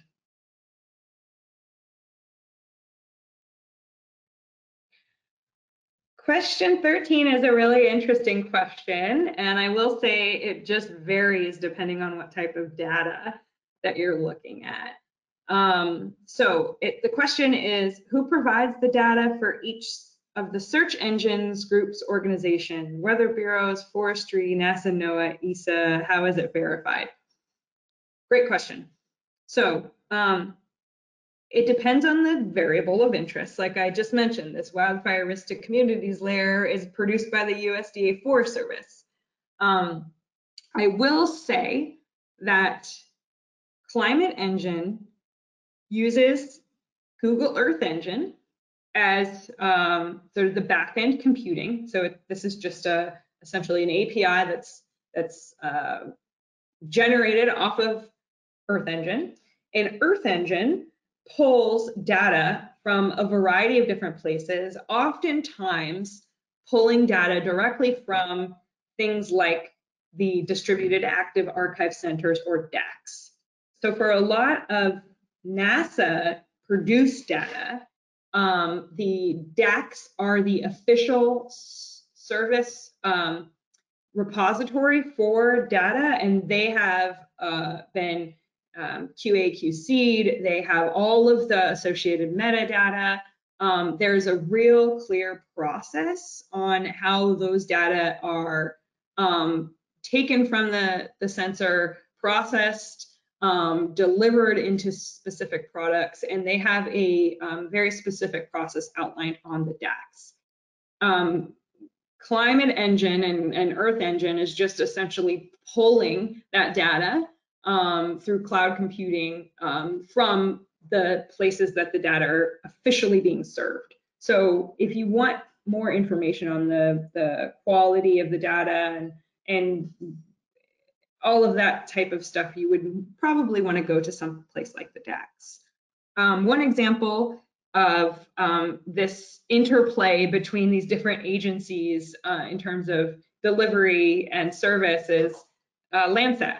It's a great example of a collaboration between NASA and the USGS. So um, NASA built builds the satellite sensors, they launch the satellite. Once the satellite is up and running and data is being served, the USGS is the agency responsible for pulling the data, um, organizing it, processing it, generating specific products, and serving it. So this is a really um, interesting connection between these different organizations. And so it really varies. Um, you know, for a lot of the, the ESA satellites, um, it, it's more uh, uh, included within the whole ESA ecosystem. So most of the ESA uh, data, such as Sentinel-2, is provided through the Copernicus DAAC um, or data portal, if you will, um, and that's also run by ESA itself. So it's a really complicated question, but it's really interesting um, to think about. So, um, and then and then I will say, you know, places like the Forest Service or different weather bureaus or even local state agencies might use data from NASA or USGS and then uh, create their own products. Um, and Landfire is a great example of that, where they are pulling in data from you know things like Landsat, but they are including their own data and expert uh, analysis to create different products as well and serve them through various locations. So great question, uh, complicated answer.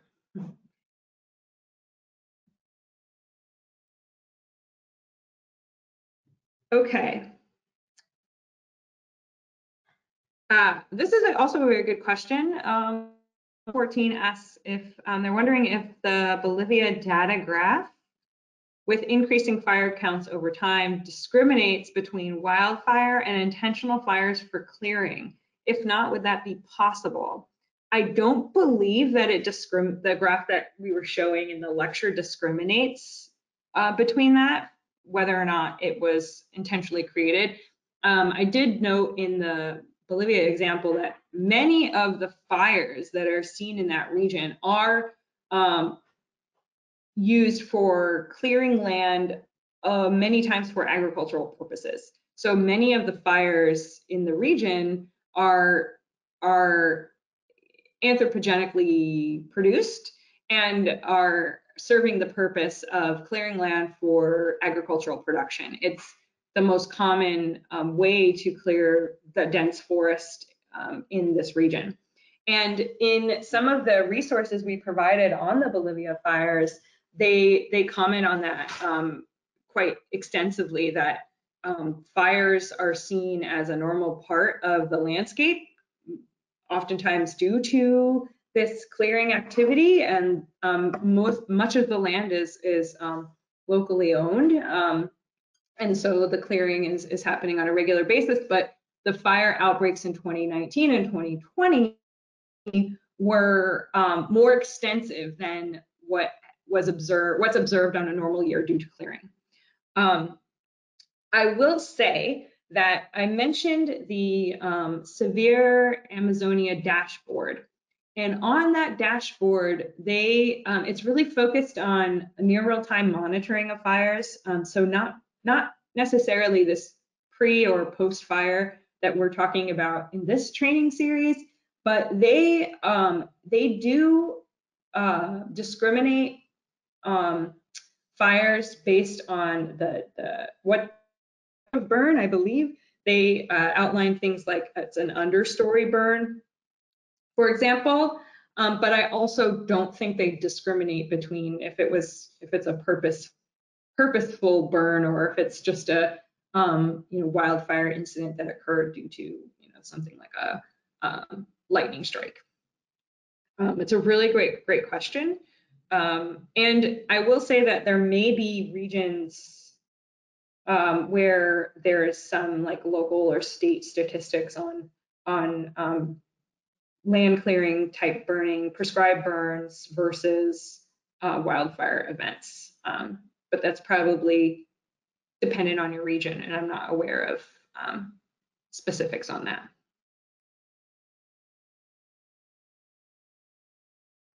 Very good question, though.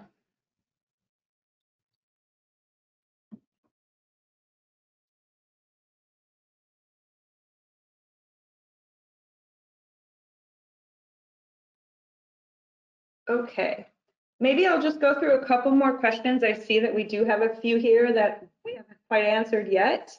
Um, I'll go through a few of these and then maybe I'll, um, maybe we'll go to for a few more minutes and then we'll pause here and allow you guys some time to sit quietly and go through the lab. It looks like Climate Engine is working again.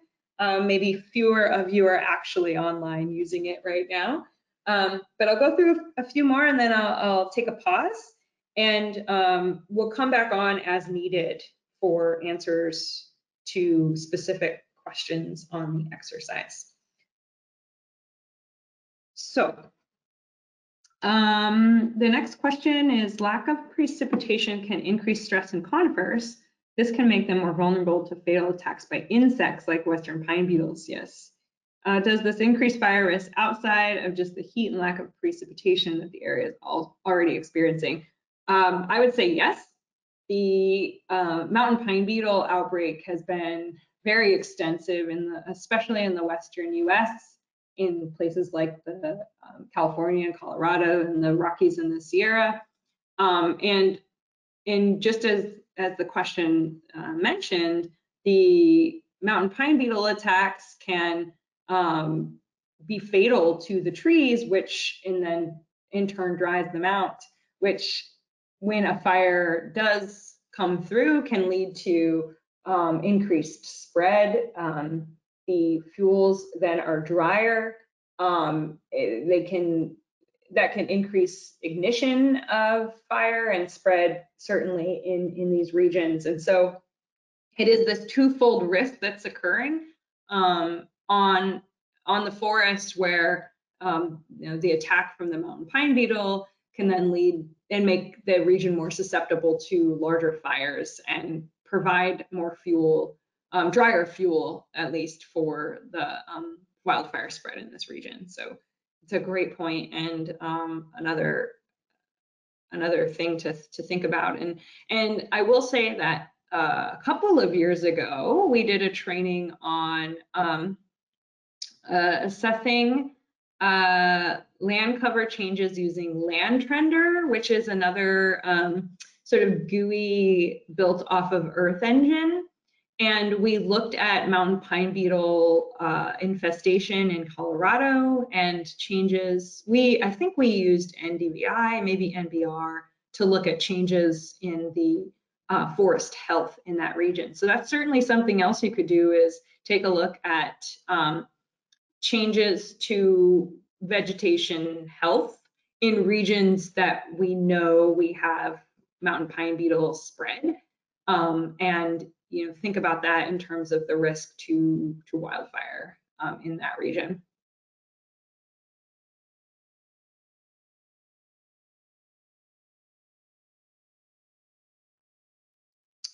Ooh, question 16 is a pretty specific question I don't think I have an answer to.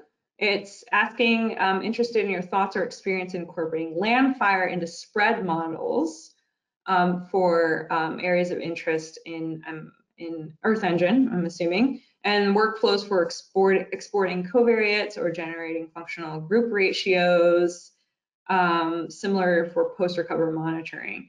I honestly don't have specific experience with that. So um, unfortunately, I am unable to address that question um, specifically.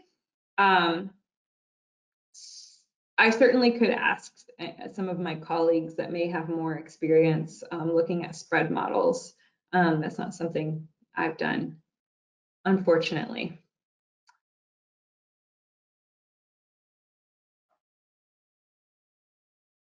Uh, question 17. Um, is it possible to produce normalized burn ratio from pre and post fire data? Yes, we will do that next session very extensively. Um, so that'll be, uh, and I, I, guess that's another uh, point for me to give as a plug for our next session. Um, we will be using Google Earth Engine more, more directly through JavaScripting through the um, Earth Engine coding interface to do pre and post NBR calculations and to create a, a burn severity map um, for both of these case studies. So we have an example from Lytton, Canada, where we're looking at the same fire, and then the Bolivia example as well. Um, so, so the short answer is yes, and stay tuned and, and do please come back for um, our session on Thursday, where we'll we'll do this in in much more depth. And and um, I will say, if you haven't done it already, um, acquiring an Earth Engine code editor account and at least opening that um, interface up and having a little bit of familiarity with it will be really beneficial for you. We're not going to be reviewing the, the sort of an intro to Earth Engine code editor um, we do have scripts available for you um, where you can run um, the analysis yourself, but I won't be going through sort of the, the basics. But there, there are a lot of resources for that um, on um, provided by Google uh, as well. So um, plug for that. and and so come back, come back Thursday and we'll go through that in much more detail. But that is the way that we will analyze our um, post-fire impacts and burn severity. Um, okay, so I will go ahead um, now and take a little break. Um, I'll take a look at some of these other questions that we've come that have come through. Um, but I do want to give everyone a little bit of time to just sit quietly and work on the the um, lab as as they'd like. Um, and I'll come back if we see some common questions or, you know, potentially do a little screen share if there are um, some issues around a certain variable or function um, with the exercises. Um, so I'll just pause here, uh, but we, I will remain, we will all remain online until the top of the hour. So just a little over 30 minutes if you'd like to work through anything. And um, in the meantime, I'll, I'll, take a look at some of these other questions and um, pop on if need be. But I will say that our um, Q&A document will be made available to everyone. So for the questions I didn't get to live today, um, I will will be typing up our answers and we'll be posting that on the website. Um, so you can come back if your if you um, your question is a little lower on the list here that we haven't gotten to yet. You can come back and take a look at that give us a little time, give us about a week or so to come back and edit this document and get it online for you. Um, but you'll be able to come back there as well. Um, and then of course the recording will be posted too. And then you have, um, for the two exercises today, you have that step-by-step -step guide that you can reference as well to get to get through everything. So um, great, so we'll take a pause here. We'll remain online um, and you know continue to feel free to ask questions as they come through. Um, and, and best of luck uh, working on the um, exercises for today.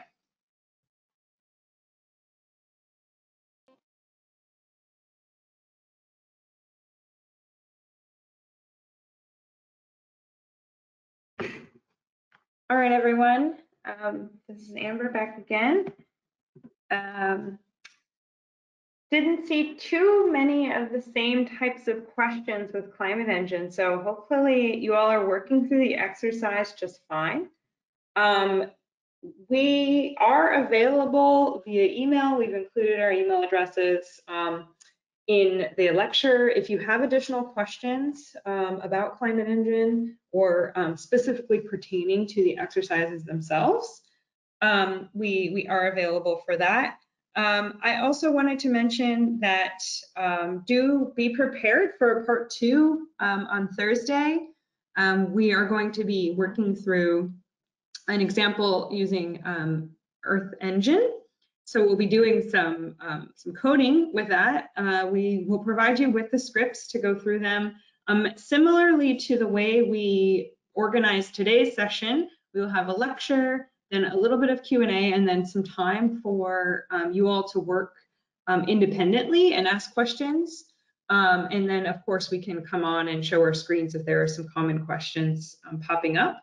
Um, I will say we also will be going through the um, Canada fire example very explicitly on Earth Engine, and then we will leave you on your own to go through the Bolivia example as we did with today's um, exercise as well. Um, so be prepared for that. Um, and then the, the um, link for the Earth Engine code is available on the presentation for Thursday's um, lecture as well. So you can access it that way. Um, I also wanted to mention that we will have one homework available, and it, I believe that is also on the website now. Um, so if you attend both sessions and um, complete the homework within two weeks of Thursday, um, then you can receive a certificate of completion for the course. So I wanted to make note of that. I'll mention it again um, on Thursday as well. It is a Google form with um, just a standard set of, of some questions um, that you can go through and you're not being graded on that. It's, it's uh, just as, as long as you go through and answer those questions, you'll get some um, feedback on, on the answers to those questions, but it's not uh, graded. So we are right at the top of the hour. Um, I again want to thank you all for joining us today. Um, I also, we welcome feedback on um, our different styles of our trainings. We're trying out some new things. We'd love feedback on what you all would like to see more of um, in the future too. So I'll be mentioning this next time, but we will have a survey that we'll be emailing out to you all at the end of the training um, that we'd love to get your feedback on for, for future trainings. Um, so thank you all again, and I look forward to being on with you uh, again on Thursday. So thanks and, and have a great day.